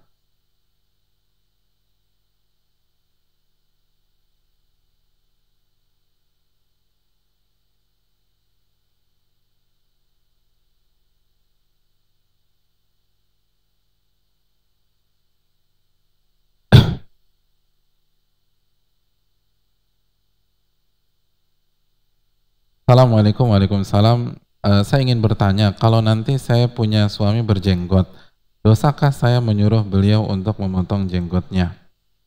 Soalnya saya nggak agak tidak suka Ustadz. Oke, terima kasih. Iya. Uh, terima kasih Jazallah atas pertanyaannya dan kejujurannya mengucapkan perasaan. Ya, berarti saya salah satu yang tidak disukai oleh dia. Karena berjenggot uh, ya uh, hadirin yang dirahmati oleh Allah SWT termasuk khususnya yang bertanya uh, kalau kita nggak suka sama laki-laki berjenggot konsekuensinya kita tidak suka dengan Nabi Muhammad Sallallahu Alaihi Wasallam. Dan kita tidak suka dengan para nabi dan rasul yang lain karena jenggot adalah syariat para nabi dan rasul. Makanya dalam ilmu fikih jenggot itu dimasukkan ke sunanul fitrah. Apa maksud sunanul fitrah? Syariat yang berlaku bagi para nabi dan rasul. Karena nggak semua syariat di nabi yang satu berlaku di nabi yang kedua. Sebagaimana di era Nabi Adam atau di masa Nabi Adam tidak uh, bolehnya nikah antara saudara kandung. Sedangkan syariat Nabi SAW nggak diperbolehkan. Tapi ada beberapa syariat yang semua Nabi dan Rasul sama. Dan di antaranya adalah i'fa'ul lihya membiarkan janggut itu tumbuh. Jadi repot kalau nggak suka sama Nabi Muhammad nggak suka sama Nabi Isa nggak suka sama Nabi Musa dan seterusnya. Jadi fatal itu hadirin yang dirahmati oleh Allah. Jadi teman kita siapa dong? Kan anta ma'aman ahbabta. Engkau akan bersama dengan orang yang engkau suka dan cintai. Nah kalau kita nggak suka sama Nabi Muhammad, nggak suka sama Nabi Isa, nggak suka sama Nabi Musa, nggak suka sama ini karena mereka berjanggut, ya kita dikumpulin sama siapa? Itu hal yang uh, penting. Oleh karena itu ini yang perlu kita camkan bersama-sama. Cintailah apa yang dicintai oleh Allah dan Rasulnya. Dan uh, menyuruh beliau memotong uh, jenggotnya itu diperinci kalau maksudnya uh, memotong segenggam, sekali lagi banyak para ulama yang membolehkan segenggam. Tapi genggaman suaminya dia. Jangan genggaman anaknya yang usia dua bulan gitu loh. Ngerti ya? Jadi genggaman yang punya janggut. Kalau anak yang dua bulan repot gitu loh. Gitu. Jadi di sini, bukan di sini gitu loh. Sama aja, nggak perlu digenggam kalau begitu. Ya. Jadi kalau itu masih diperbolehkan oleh banyak para uh, ulama. Dan ini dijelaskan juga oleh Al-Imam Ibn Abdul Bar dan para ulama yang lain dan banyak mengatakan ini pendapat banyak sekali para para ulama kita. Tapi kalau maksudnya memotong di bawah satu genggam, ini yang jadi masalah. Ini yang jadi masalah dan ini bertentangan dengan sabda Nabi wa'aful liha dan biarkan janggut itu tumbuh. Wallahu taala alam bisawab. Uh, jadi itu harus diperinci. Kalau seperti ini diperbolehkan sebagaimana hadis Ibnu Umar ya ketika uh, tahallul itu memotong ke genggam. Kalau ada yang mengatakan, tapi kan itu pas tahallul, bukan pas di Jakarta. Itu dijawab sama Ibnu Abdul, Ibnu Abdul Bar, kata Ibnu Al-Imam Ibnu Abdul Bar, kalau itu boleh di tahallul, maka juga boleh di Jakarta di tempat-tempat lain. Kenapa demikian? Karena maksud dari tahallul ketika berumroh misalnya, itu kan apa? Menghalalkan hal halal yang untuk sementara waktu diharamkan ketika ihram. Jadi pahami tidak? Tahalul ketika umroh itu artinya apa sih? Menghalalkan kembali beberapa hal yang halal namun untuk sementara waktu diharamkan pada saat ihram. Makanya kan yang nggak boleh pada saat hal yang haram dan untuk sementara waktu nggak boleh ketika ihram apa? eh, gunting rambut, cabut bulu, pakai parfum uh, dan uh, apa dan lain-lain ya dan lain-lain. Menikah melamar. Nah begitu tahalul semua itu jadi boleh kembali. Nah ketika Ibnu Umar menggunting segenggam berarti itu termasuk yang halal apa yang haram? Yang halal. Bisa dipahami tidak? Itu poinnya. Allah taala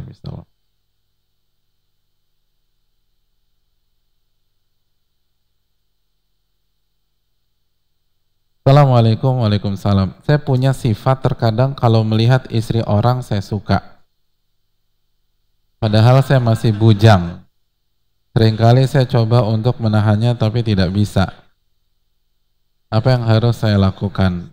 Sedangkan kalau puasa Senin dan Kamis alhamdulillah jalan terus. Apakah puasa yang saya lakukan akan sia-sia hanya karena suka sama istri orang? Mohon nasihatnya Ustadz. Ya terima kasih jazakallah khair dan terima kasih atas kejujurannya. Semoga Allah memberikan uh, solusi ya dan menurunkan syahwat kita. Yang pertama tentu saja doa sama Allah Subhanahu wa taala. Doalah dan jujur ketika kita berdoa kepada Allah. Yang kedua uh, puasa. Fa inna lahu wija kata Nabi SAW karena puasa itu perisai. Uh, Alhamdulillah beliau udah puasa Senin Kamis tapi masih jadi tambah gitu loh. Puasa Nabi Daud. Jadi puasa Nabi Daud. Nah kalau masih begitu juga berarti evaluasi kualitas puasanya. Itu ada masalah nih. Karena kalau puasanya oke, okay, secara umum pasti akan memberikan solusi. Karena Nabi yang mengatakan, Nabi SAW yang mengatakan. Jadi evaluasi, karena kan Nabi yang bilang hadirin, rubah sa'imin adzuhu min siyamil ju'al atash. Betapa banyak orang yang berpuasa, ganjaran dari puasanya hanya lapar dan haus. Berarti kan banyak orang itu kualitasnya bermasalah jadi bukan hanya sekedar puasa, perbaiki kualitas puasa. Terus uh, kalau memang uh, ini berjalan terus, berjalan terus, maka antum perlu evaluasi diri. Jangan-jangan nikah itu sudah sampai derajat wajib untuk antum. Kalau sudah sampai derajat wajib, ya menikah lah. Gitu. Menikah. Karena ini bahaya, suka apalagi suka sama istri orang. Suka sama anak orang aja bahaya, apalagi tuh anak udah jadi istri orang, lebih bahaya lagi. Uh -uh. Jadi solusinya nikah, tapi nikah juga jangan asal-asalan harus benar-benar ditata. Tapi insya Allah kalau misalnya antum dan juga jangan oh, yang berikutnya jaga pandangan juga lah, godul basar. Nah ini kan apa nih itu? Oh ya, terkadang kalau melihat istri orang saya suka, ya jangan lihat gitu loh. Uh, uh, lihat suaminya aja. Loh, ya benar kan? Boleh nggak lihat suami orang? Benar. Ibu-ibu jangan jawab, saya mau nanya di sini. Boleh nggak lihat suami orang? Boleh, asal jangan dengan tatapan nafsu. Boleh. Jadi jadi ini salah nembak nih. Harusnya ke kanan, dia ngeliatnya ke kiri gitu loh. Jadi antum melihatin aja jenggotnya antum melihatin itunya gitu loh. Uh, gitu. Insya Allah deh. Insya Allah ilfil sama istrinya. Insya Allah ilfil sama istrinya. Jadi jangan dilihat yang jadi masalah, antum lihat. Gitu loh. Baru kalau udah nggak bisa juga, udah nikah. Nikah tapi hati-hati. Pelan-pelan. Dan jangan tergesa-gesa.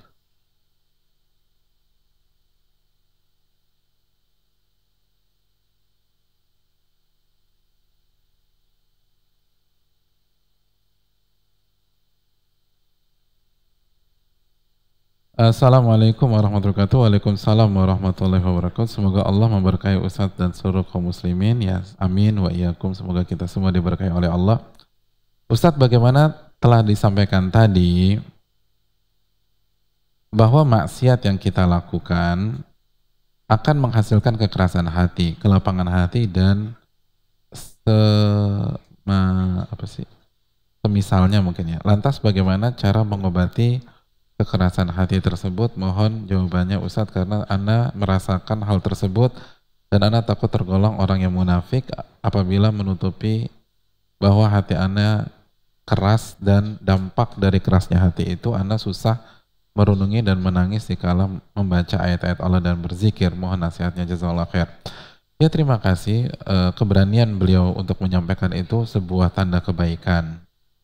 E, membersihkan hati kan kita sudah tahu bersama simpel sebenarnya yaitu sambutlah seruan Allah dan Rasulnya. Jadi jangan banyak mikir pokoknya ada perintah kerjain ada larangan itu tinggalkan. Itulah yang disampaikan oleh Allah dalam surat Al-Anfal ayat 24 istajibu lillahi walir rasul idha da'akum lima yuhyikum. Sambutlah seruan Allah dan Rasulnya. Jika Allah dan Rasul mengajak kalian ke syariat yang akan membuat kalian hidup. Yang membuat hati kalian hidup gitu loh. Kalian benar-benar merasakan sensasi kehidupan. Jadi sambutlah seruan itu yang membuat hati kalian hidup. Jadi udah deh yang jadi masalah tuh kita move onnya kelamaan. Berubahnya itu pakai mikir-mikir. Udah jelas nih ayatnya masih ragu-ragu juga. Jadi kalau udah jelas pemahamannya benar perintahnya uh, jelas, larangannya jelas, dan kita nggak salah paham, udah jangan banyak mikir lah, kerjain, kerjain. Dan di situlah keberkahan. Sebagaimana Nabi Ibrahim nggak banyak mikir ketika Allah perintahkan beliau untuk menyembelih putranya. Dan Ismail juga nggak banyak mikir. Apa kata ketika Nabi Ibrahim mengatakan ini arafil manami anni azbahuka fanzur madza tara. Wahai anakku aku diperintahkan oleh Allah melalui mimpiku untuk menyembelihmu. Bagaimana menurutmu nak? Apa respon Ismail? Beri aku tiga hari ya. Bilang gitu. Tolong kasih kesempatan aku berpikir. Aku mau merenung. Aku mau tanya teman. Aku mau tanya guru BK Enggak kan? Enggak ada. Apa kata Nabi Ismail? Ya abatif al ma tu'mar satajiduni insyaallah minas sabirin. Wahai ayahku lakukan apa yang Allah perintahkan kepadamu. Itu nggak banyak mikir. Istajibu. Sambut tuh seruan Allah. Jangan kebanyakan mikir. Mikir tuh bagus tapi pada tempatnya. Loh. Mikir itu bagus. Bukan nggak boleh mikir. Mikir tuh bagus. Tapi kalau salah tempat nggak nyaman. Gitu.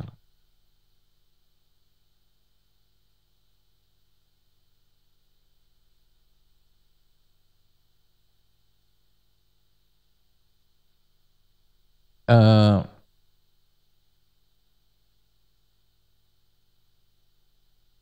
ya, tunggu ya.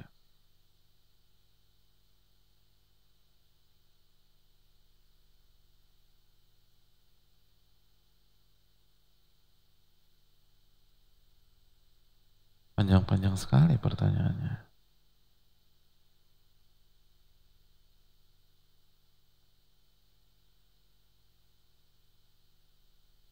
Bagaimana?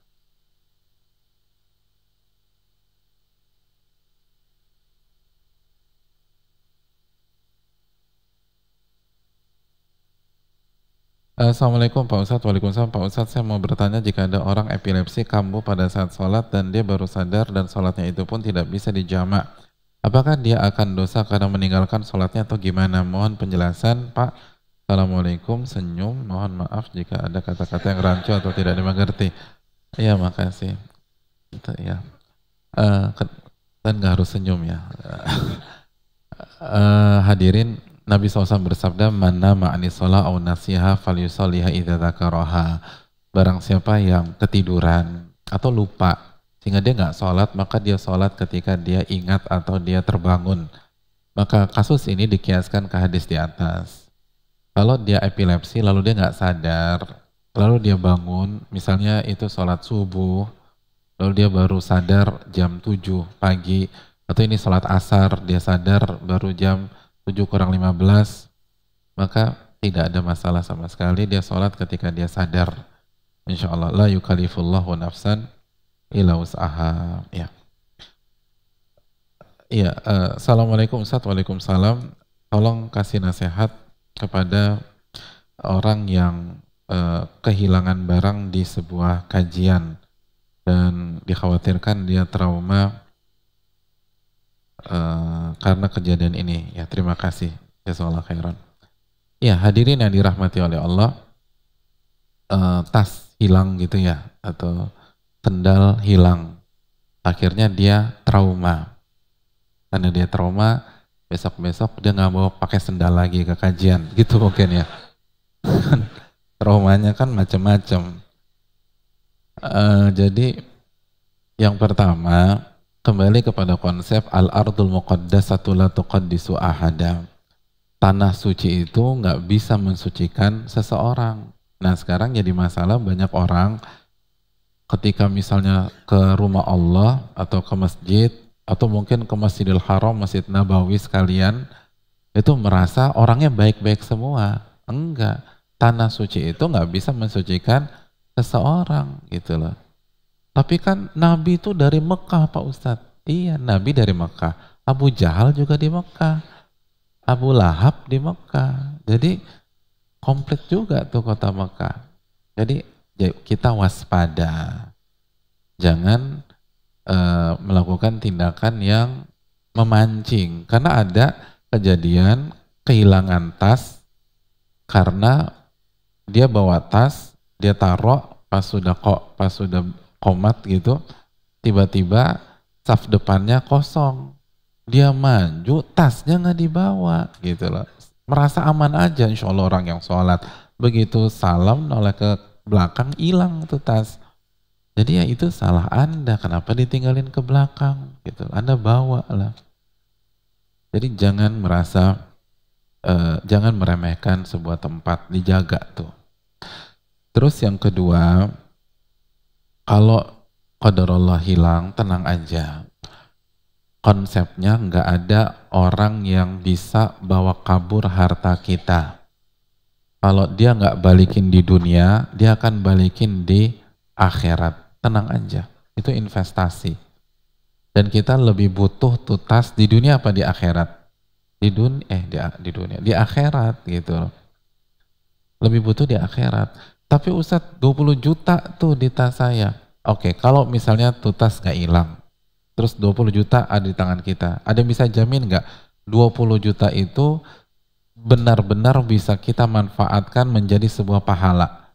Kan nggak ada yang jamin. Bisa jadi kita pakai buat nggak jelas, 19,9 juta akhirnya kita infakkan cuman 100 ribu ya Allah dan 20 juta infaknya 100 ribu doang tapi kalau 20 juta itu dibawa kabur 20 juta itu 100% berubah jadi pahala di di akhirat gitu lah jadi harusnya alhamdulillah investasi akhir kalau gitu kalau dia mau balikin nggak saya nggak mau deh Pak Ustadz ya jangan juga terima gitu loh. Nah, dia bertobat kepada Allah Subhanahu wa taala. Mungkin itu ya. Jadi nggak usah khawatir. Dan intros dan terakhir terak, ini poinnya introspeksi diri. Karena kan wa asabakum min musibatin fabima kasabat aidikum. Apa pun yang menimpa kalian itu karena dosa-dosa kalian. Nah, perbanyak istighfar deh. Jangan nyalain orang, termasuk yang ngambil gitu. Jangan artinya jangan terlalu oh gara-gara dia ini kurang ajar dia nggak punya perasaan masuk di masjid juga nyopet gitu loh. Hadirin yang dirahmati oleh Allah, ya simple aja. Kalau dia nggak apa nggak malu sama Allah, masa dia punya perasaan sama kita? Wong di rumah Allah aja dia merasa, masih berani dosa tuh. Jadi lebih baik kita introspeksi diri. Dengan introspeksi diri, banyak hal-hal yang akan kita dapatkan insya Allah ta'ala. Mungkin itu poinnya. Assalamualaikum Waalaikumsalam Insya Allah di tahun 2018 ini Anda ada niat ingin nikah kepada Ustadz dan rekan-rekan jemaah Anda mohon bantuan doanya agar keinginan Anda ini Allah kabulkan dan Allah mudahkan jazakallah khair amin wafakakumullahu lima ya kita doain Antum doain, anak udah, antum doain tuh. Nggak kok antum diem aja, dia kan minta doa antum juga. Doain, wafakakumullah. Semoga berhasil.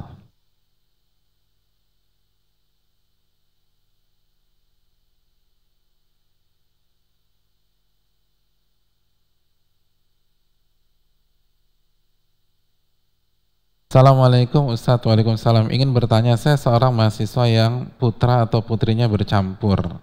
Menjelang ujian biasanya belajar bersama-sama teman-teman akhwat. Apakah itu termasuk maksiat? Bagaimana batasan interaksi pria dan wanita? Belajar bersama teman-teman akhwat bukan sebuah maksiat jika semuanya akhwat. Itu. Oh, benar kan? Belajar sama akhwat. Tapi kalau ada ikhwan dan akhwat, terus udah nggak jelas deh itu ruang tamu kayak apaan. Nah ini perlu eh, uh, layoutnya, dipisah. Akhwatnya di sana, ikhwannya di sini. Jadi jangan sampai campur baur yang akhirnya bersentuhan, ngobrolnya nggak jelas, terus akhwatnya belajar sampai nungging-nungging, kan nggak jelas tuh kalau udah, apalagi di lantai gitu ya. Nah ini yang perlu disampaikan. Dan kalau nggak berkah, gimana nanti masa depan kita akan baik gitu loh. Tapi juga biasanya kan yang namanya putra putri kita gini kan masih awam ya. Jadi jangan sampai fokus kita hanya masalah-masalah seperti ini dan lupa mencari solusi akar masalahnya. Akar masalahnya ini kan karena mereka nggak ngerti agama Akar masalahnya karena tauhid mereka belum kuat. Akar masalahnya karena imannya belum kokoh.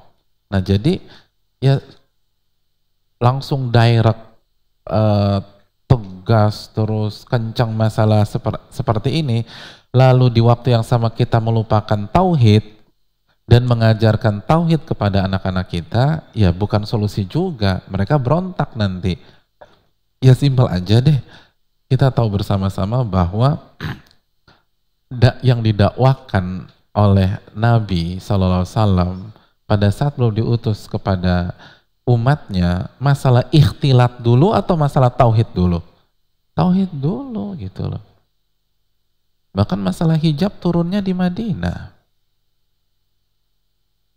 Puasa di Madinah, zakat di Madinah. Homer diharamkan di Madinah, judi tuh di Madinah. Bayangkan judi di Madinah. Kenapa? Karena di awal tauhidul. Bayangkan judi dipending karena membahas akar masalah dulu. Antum sebagai orang tua lebih shock mana? Anak-anak antum begitu antum masuk rumah pada judi togel atau ikhtilat? Anak tanya, ah, gimana? Antum ya nikah aja belum, gimana mikir anak-anak ya? Coba ini misal, atau kebalik ya, orang tua antum lebih shock yang mana? begitu dia masuk ke rumah, antum lagi antum belajar nih, benar-benar belajar tapi rada ikhtilat gitu, atau antum judi togel? Lebih shock mana? Judi togel gitu loh itu judi aja nggak langsung disampaikan kan tadi surat al-baqarah Allah nggak langsung mengharamkan judi kan Allah kasih bahasa tersirat suruh mikir wa ithmuhuma akbaru min naf'ihima. Mudaratnya lebih besar daripada manfaatnya. Diharamkan belum. Belum diharamkan. Diharamkan setelah perang Uhud baru diharamkan. Jadi proporsional lah, kita tidak meremehkan maksiat, tapi kalau ingin mengkondisikan anak-anak, bahas akar masalahnya dulu. Makanya kan konsep dakwah al-aham fal muhim, bicara yang terbesar, bicara yang terpenting, baru yang penting. Semuanya penting, tapi ada yang paling penting. Nah, yang jadi masalah sama banyak orang tua nih, begitu ngelihat anaknya kenal sama seorang cewek atau orang cowok, terus pacaran langsung shock, heboh, panik, dan seterusnya. Tapi nggak pernah didik akidah nggak pernah didik tauhid, nggak pernah mengajarkan uh, asma wa sifat kepada dia. Ya gimana anaknya mau berubah? Nggak bisa deh. Ini dulu diajarin pelan-pelan. Allah taala a'lam bishawab.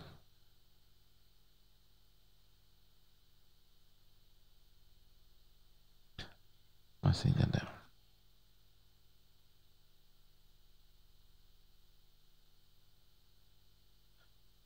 Eh, semoga Allah memberkahi majelis kita dan semua saudara kita di luar sana. Amin ya alamin. Ustadz, Anda ingin bertanya, setelah Anda berhijrah, terkadang Anda terkena futur dan terjerumus ke dalam maksiat. Terutama ketika sedang sendiri di rumah. Pertanyaannya, apakah maksiat yang dilakukan ketika sendiri itu uh, termasuk dosa syirik karena lebih takut dilihat manusia daripada dilihat Allah? Apakah amalan selama Anda berhijrah lenyap karena maksiat tersebut? Mohon berikan nasihat untuk Anda agar bisa menghindari kebiasaan buruk ini. Ustaz, Anda takut termasuk golongan orang munafik yang terlihat soleh di mata orang, tetapi sering terjumus maksiat ketika sendiri. Barakallahu fikum. Ya, terima kasih jazakallahu khair atas pertanyaannya. Kita tahu bersama sebuah hadis uh, bahwa ada orang yang punya pahala seperti gunung Tuhama lalu dihancurkan oleh Allah Subhanahu wa taala seluruh amal ibadahnya. Kenapa?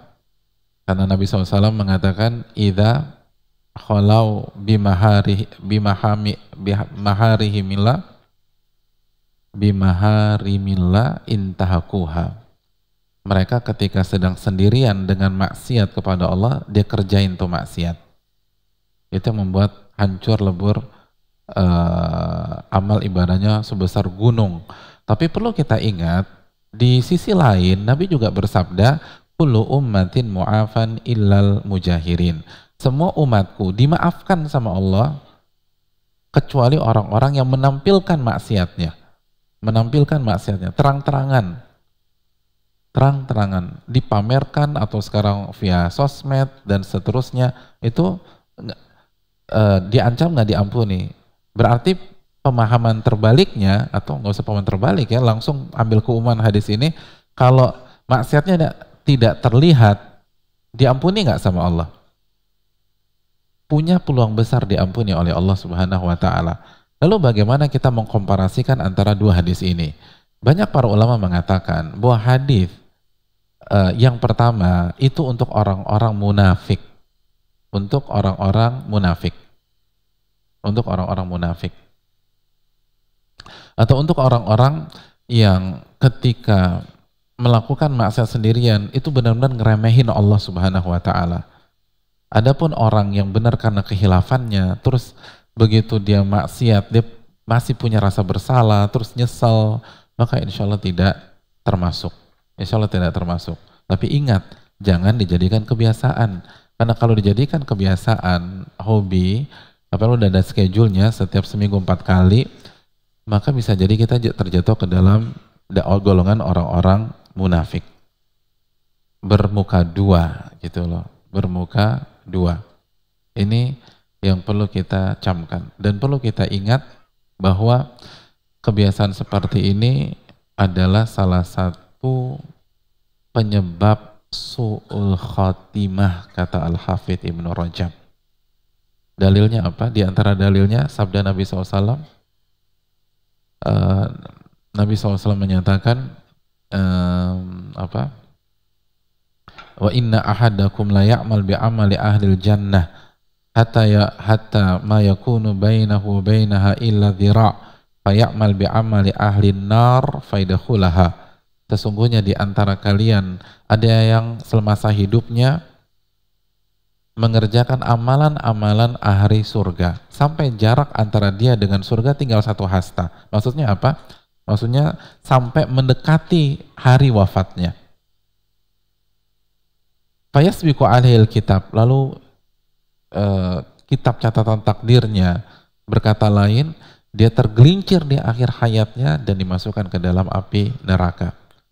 Hadis ini sahih dari Imam Bukhari dan dalam riwayat yang lain Nabi jelaskan apa penyebabnya kok bisa nih orang mengerjakan amalan-amalan surga terus kepleset dan ini keluar dari kaidah umum kaidah umumnya kalau kita mengerjakan amal soleh akan akan mengundang amal soleh berikutnya, akan mengundang amal soleh yang ketiga, yang ketiga mengundang yang keempat, keempat mengundang kelima sampai husnul khatimah. Tapi ini kok bisa beda?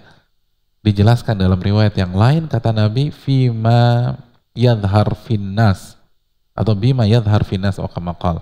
Dia mengerjakan amal-amal soleh hanya di hadapan manusia.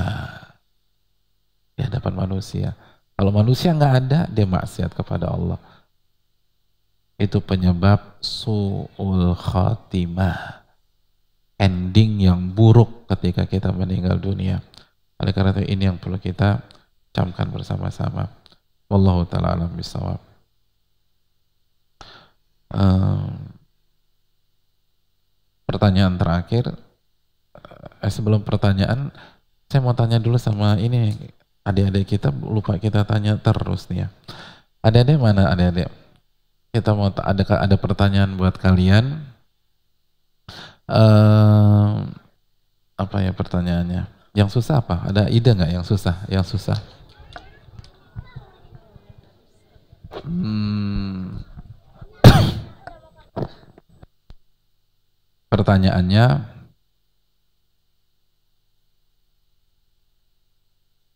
sebutkan sebutkan apa ya?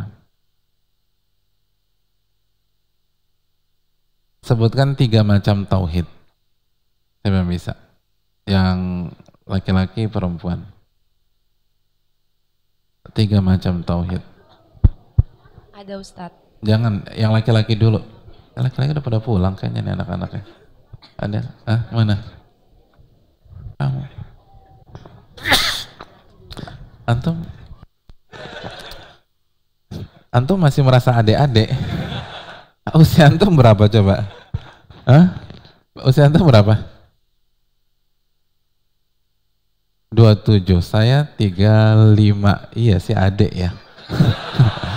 Tapi bukan antum yang Anda maksud. Ini anak kecil, anak SD. Adik bisa, tapi adik-adik antum udah nggak cocok gitu loh. Iya, iya gitu loh. Beda, beda kan adik sama adik-adik itu beda. Nenek banyak yang di belakang itu tuh udah jadi seorang nenek, tapi di belakang nenek-nenek mungkin masih agak tersinggung. Ya saya kan gitu loh. Antum om cocok, tapi om-om kayak nggak enak gitu. Ini adik-adik, bukan adik doang. Siapa yang mau jawab tiga macam tauhid? Hah? Ada nggak? Tumben nggak ada? Iya pak ini adik kok bapak bukan ini bukan buat bapak-bapak buat adik-adik buat anak kecil anak kecil SD SD SD Hmm, nggak ada.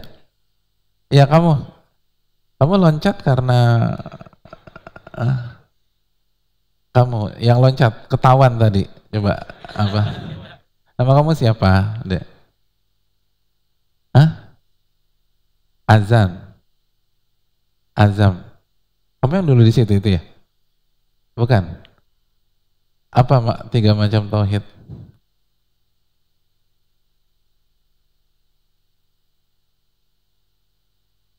Oh, masya Allah, barakallahu fikum. Makasih banyak Zam. Uh, dapat hadiah. Nah sekarang uh, akhwatnya, adik-adik ya. Ini jangan ngaku-ngaku lagi nih agak berat. Assalamualaikum Ustaz. Waalaikumsalam Kamu umurnya berapa? Uh, 10 tahun. Oh ya, masih adik-adik. Namanya siapa? Insyira Gania. Oh ya, apa jawabannya, Lucia? tauhid rububiyah, tauhid uluhiyah, tauhid asma wa sifat. Oh ya, makasih banyak ya Allah khairan. Ya betul. Dapat hadiah ya, kan ya makasih banyak. Uh, pertanyaan terakhir, Assalamualaikum warahmatullahi wabarakatuh. Waalaikumsalam warahmatullahi wabarakatuh. Ustadz saya mau tanya orang tua Ana nikah lagi. Jadi bapak Ana udah nggak perhatiin perhatian lagi sama Ana, ibu Ana salah sedikit langsung marah. Semenjak Bapak nikah lagi sikap Anda harus gimana Ustadz? Syukron jazakallah khairan. Ya terima kasih. Lagi-lagi ini kembali membuktikan bahwa mayoritas yang poligami itu tidak memahami konsep poligami dan poligaminya bermasalah dan akhirnya membuat citra poligami itu buruk. Betul nggak nih oh, ibu-ibu yang jawab betul eh si ibu-ibu lah susah ini yang perlu kita camkan. Orang yang begini berarti nggak siap nikah lagi. Tapi gimana sikap kita? Sikap kita yang pertama harus objektif dan proporsional. Ingat, kalau orang tua kita ngajak kekufuran aja, Allah berfirman dalam surat Luqman, huma fi dunya ma'rufah. Bersahabatlah dengan mereka dengan baik.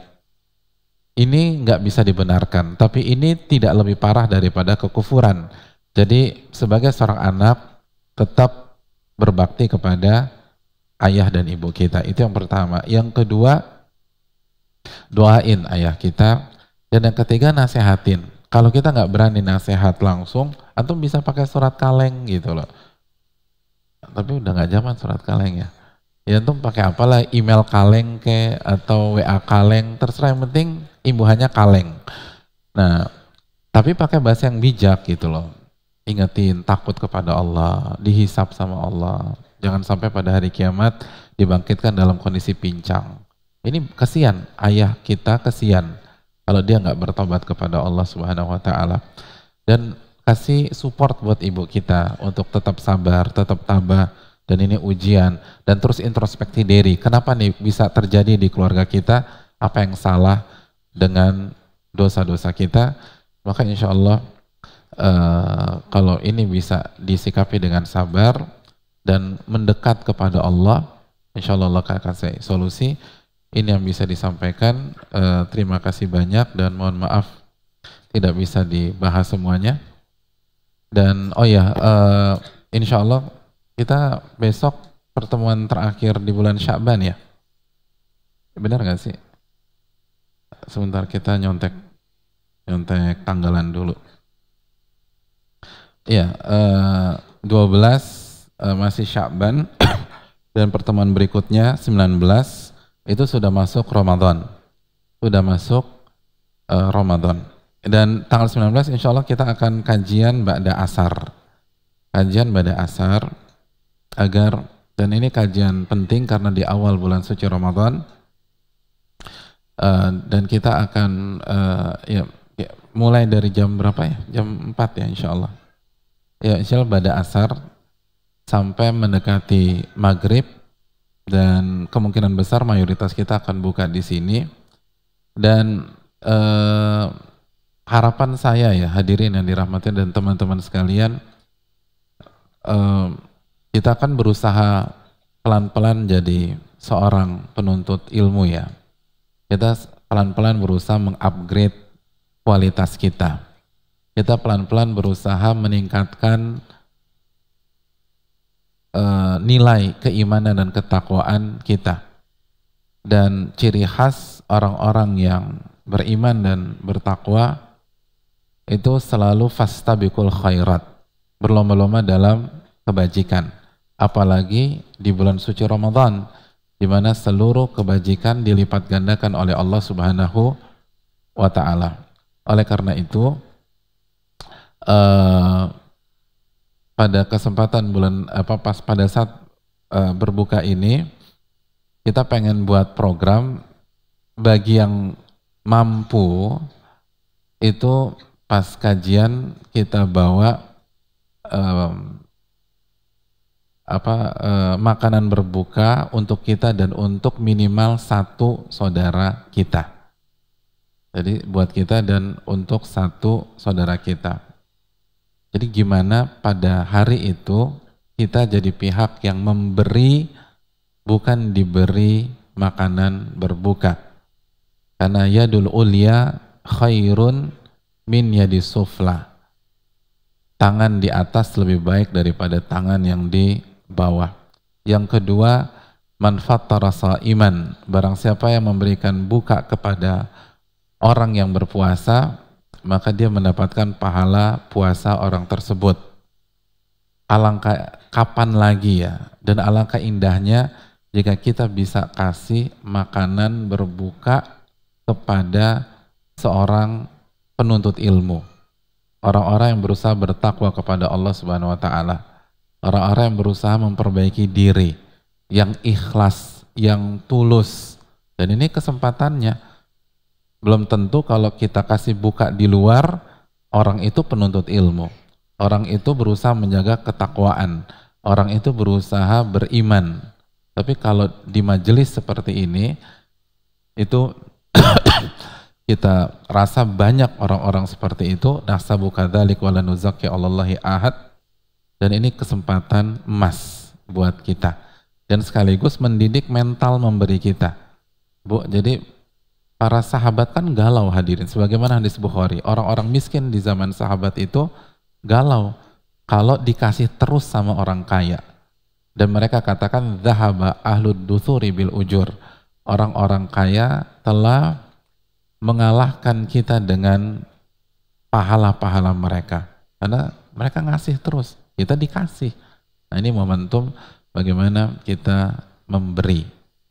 Jadi itu yang ingin uh, disampaikan uh, di tanggal 19 kita pengen gimana jika kita memberi itu loh dan itu pahalanya gede banget dan itu lebih penting, lebih besar daripada jika kita dikasih. Di apa kalau dikasih di masjid di banyak masjid Jakarta antum ke masjid antum akan dikasih. Tapi ngasih ini momen yang sangat berharga apalagi yang antum kasih itu seorang yang ingin berhijrah, bertaubat, berbuat baik kepada Allah Subhanahu wa taala. Kira-kira setuju nggak nih dengan konsep ini? Iya. Cuman 15 orang daerah sini doang. yang di situ gimana? Setuju apa enggak? Ya, jadi gitu ya. Jadi kita bawa buat orang. Gitu. Kita bawa buat orang minimal satu orang. Ibnu Umar itu kalau buka puasa nggak ngasih apa nggak ada orang di rumahnya sehingga dia nggak bisa kasih makanan berbuka dia nggak mau buka di rumah dia keluar di jalan sehingga dia bisa ngasih orang itu Abdullah bin Umar. Jadi coba kita latihan bisa nggak nih kita punya mental seperti itu? Kalau di Ramadan mentalnya masih cari bukaan gratis gimana di luar Ramadan? Berat udah. Stadium parah udah begitu. Ya di Ramadan aja mentalnya cari bukaan gratis. Boleh sih tapi itu kan buat orang awam. Antum harus main di level lebih tinggi. Bisa aja kita uh, atur untuk menservis tuh bisa, tapi uh, sayang gitu loh. Ini Ramadan. Jadi kalau bisa sekali lagi kita yang ngasih di bulan suci Ramadan dan semoga gerakan ini bisa antum terapkan lagi di kesempatan-kesempatan yang lain. Ini yang bisa disampaikan, makasih banyak. Jadi setiap kita berusaha kasih buat saudaranya dan uh, kita mendapatkan pahala orang yang berbuka minimal satu orang. Syukur-syukur bisa dua atau tiga orang. Ini yang bisa disampaikan. Senang bisa beribadah dengan antum dan saya ingatkan bahwa kita sudah sebentar lagi mendekati Ramadan maka uh, lebih ditambah lagi tensi latihan kita, pemanasan kita, pemanasan membaca Al-Quran, berzikir kepada Allah lalu uh, salat-salat sunnah sudah mulai ditambah dengan lebih intens dan ingat kita bisa melakukan banyak salat sunnah mutlak kecuali di waktu-waktu larangan. Ini Ramadan dan bisa jadi ini Ramadan terakhir kita. Jadi well prepare lah uh, persiapan harus matang dan semoga Allah memberikan taufik kita untuk bisa berjumpa dengan tamu yang luar biasa ini. Allah wa iyyakum ajmain. Subhanakallahumma wa bihamdika la ilaha illa anta astaghfiruka wa atubu ilaik. Assalamualaikum warahmatullahi wabarakatuh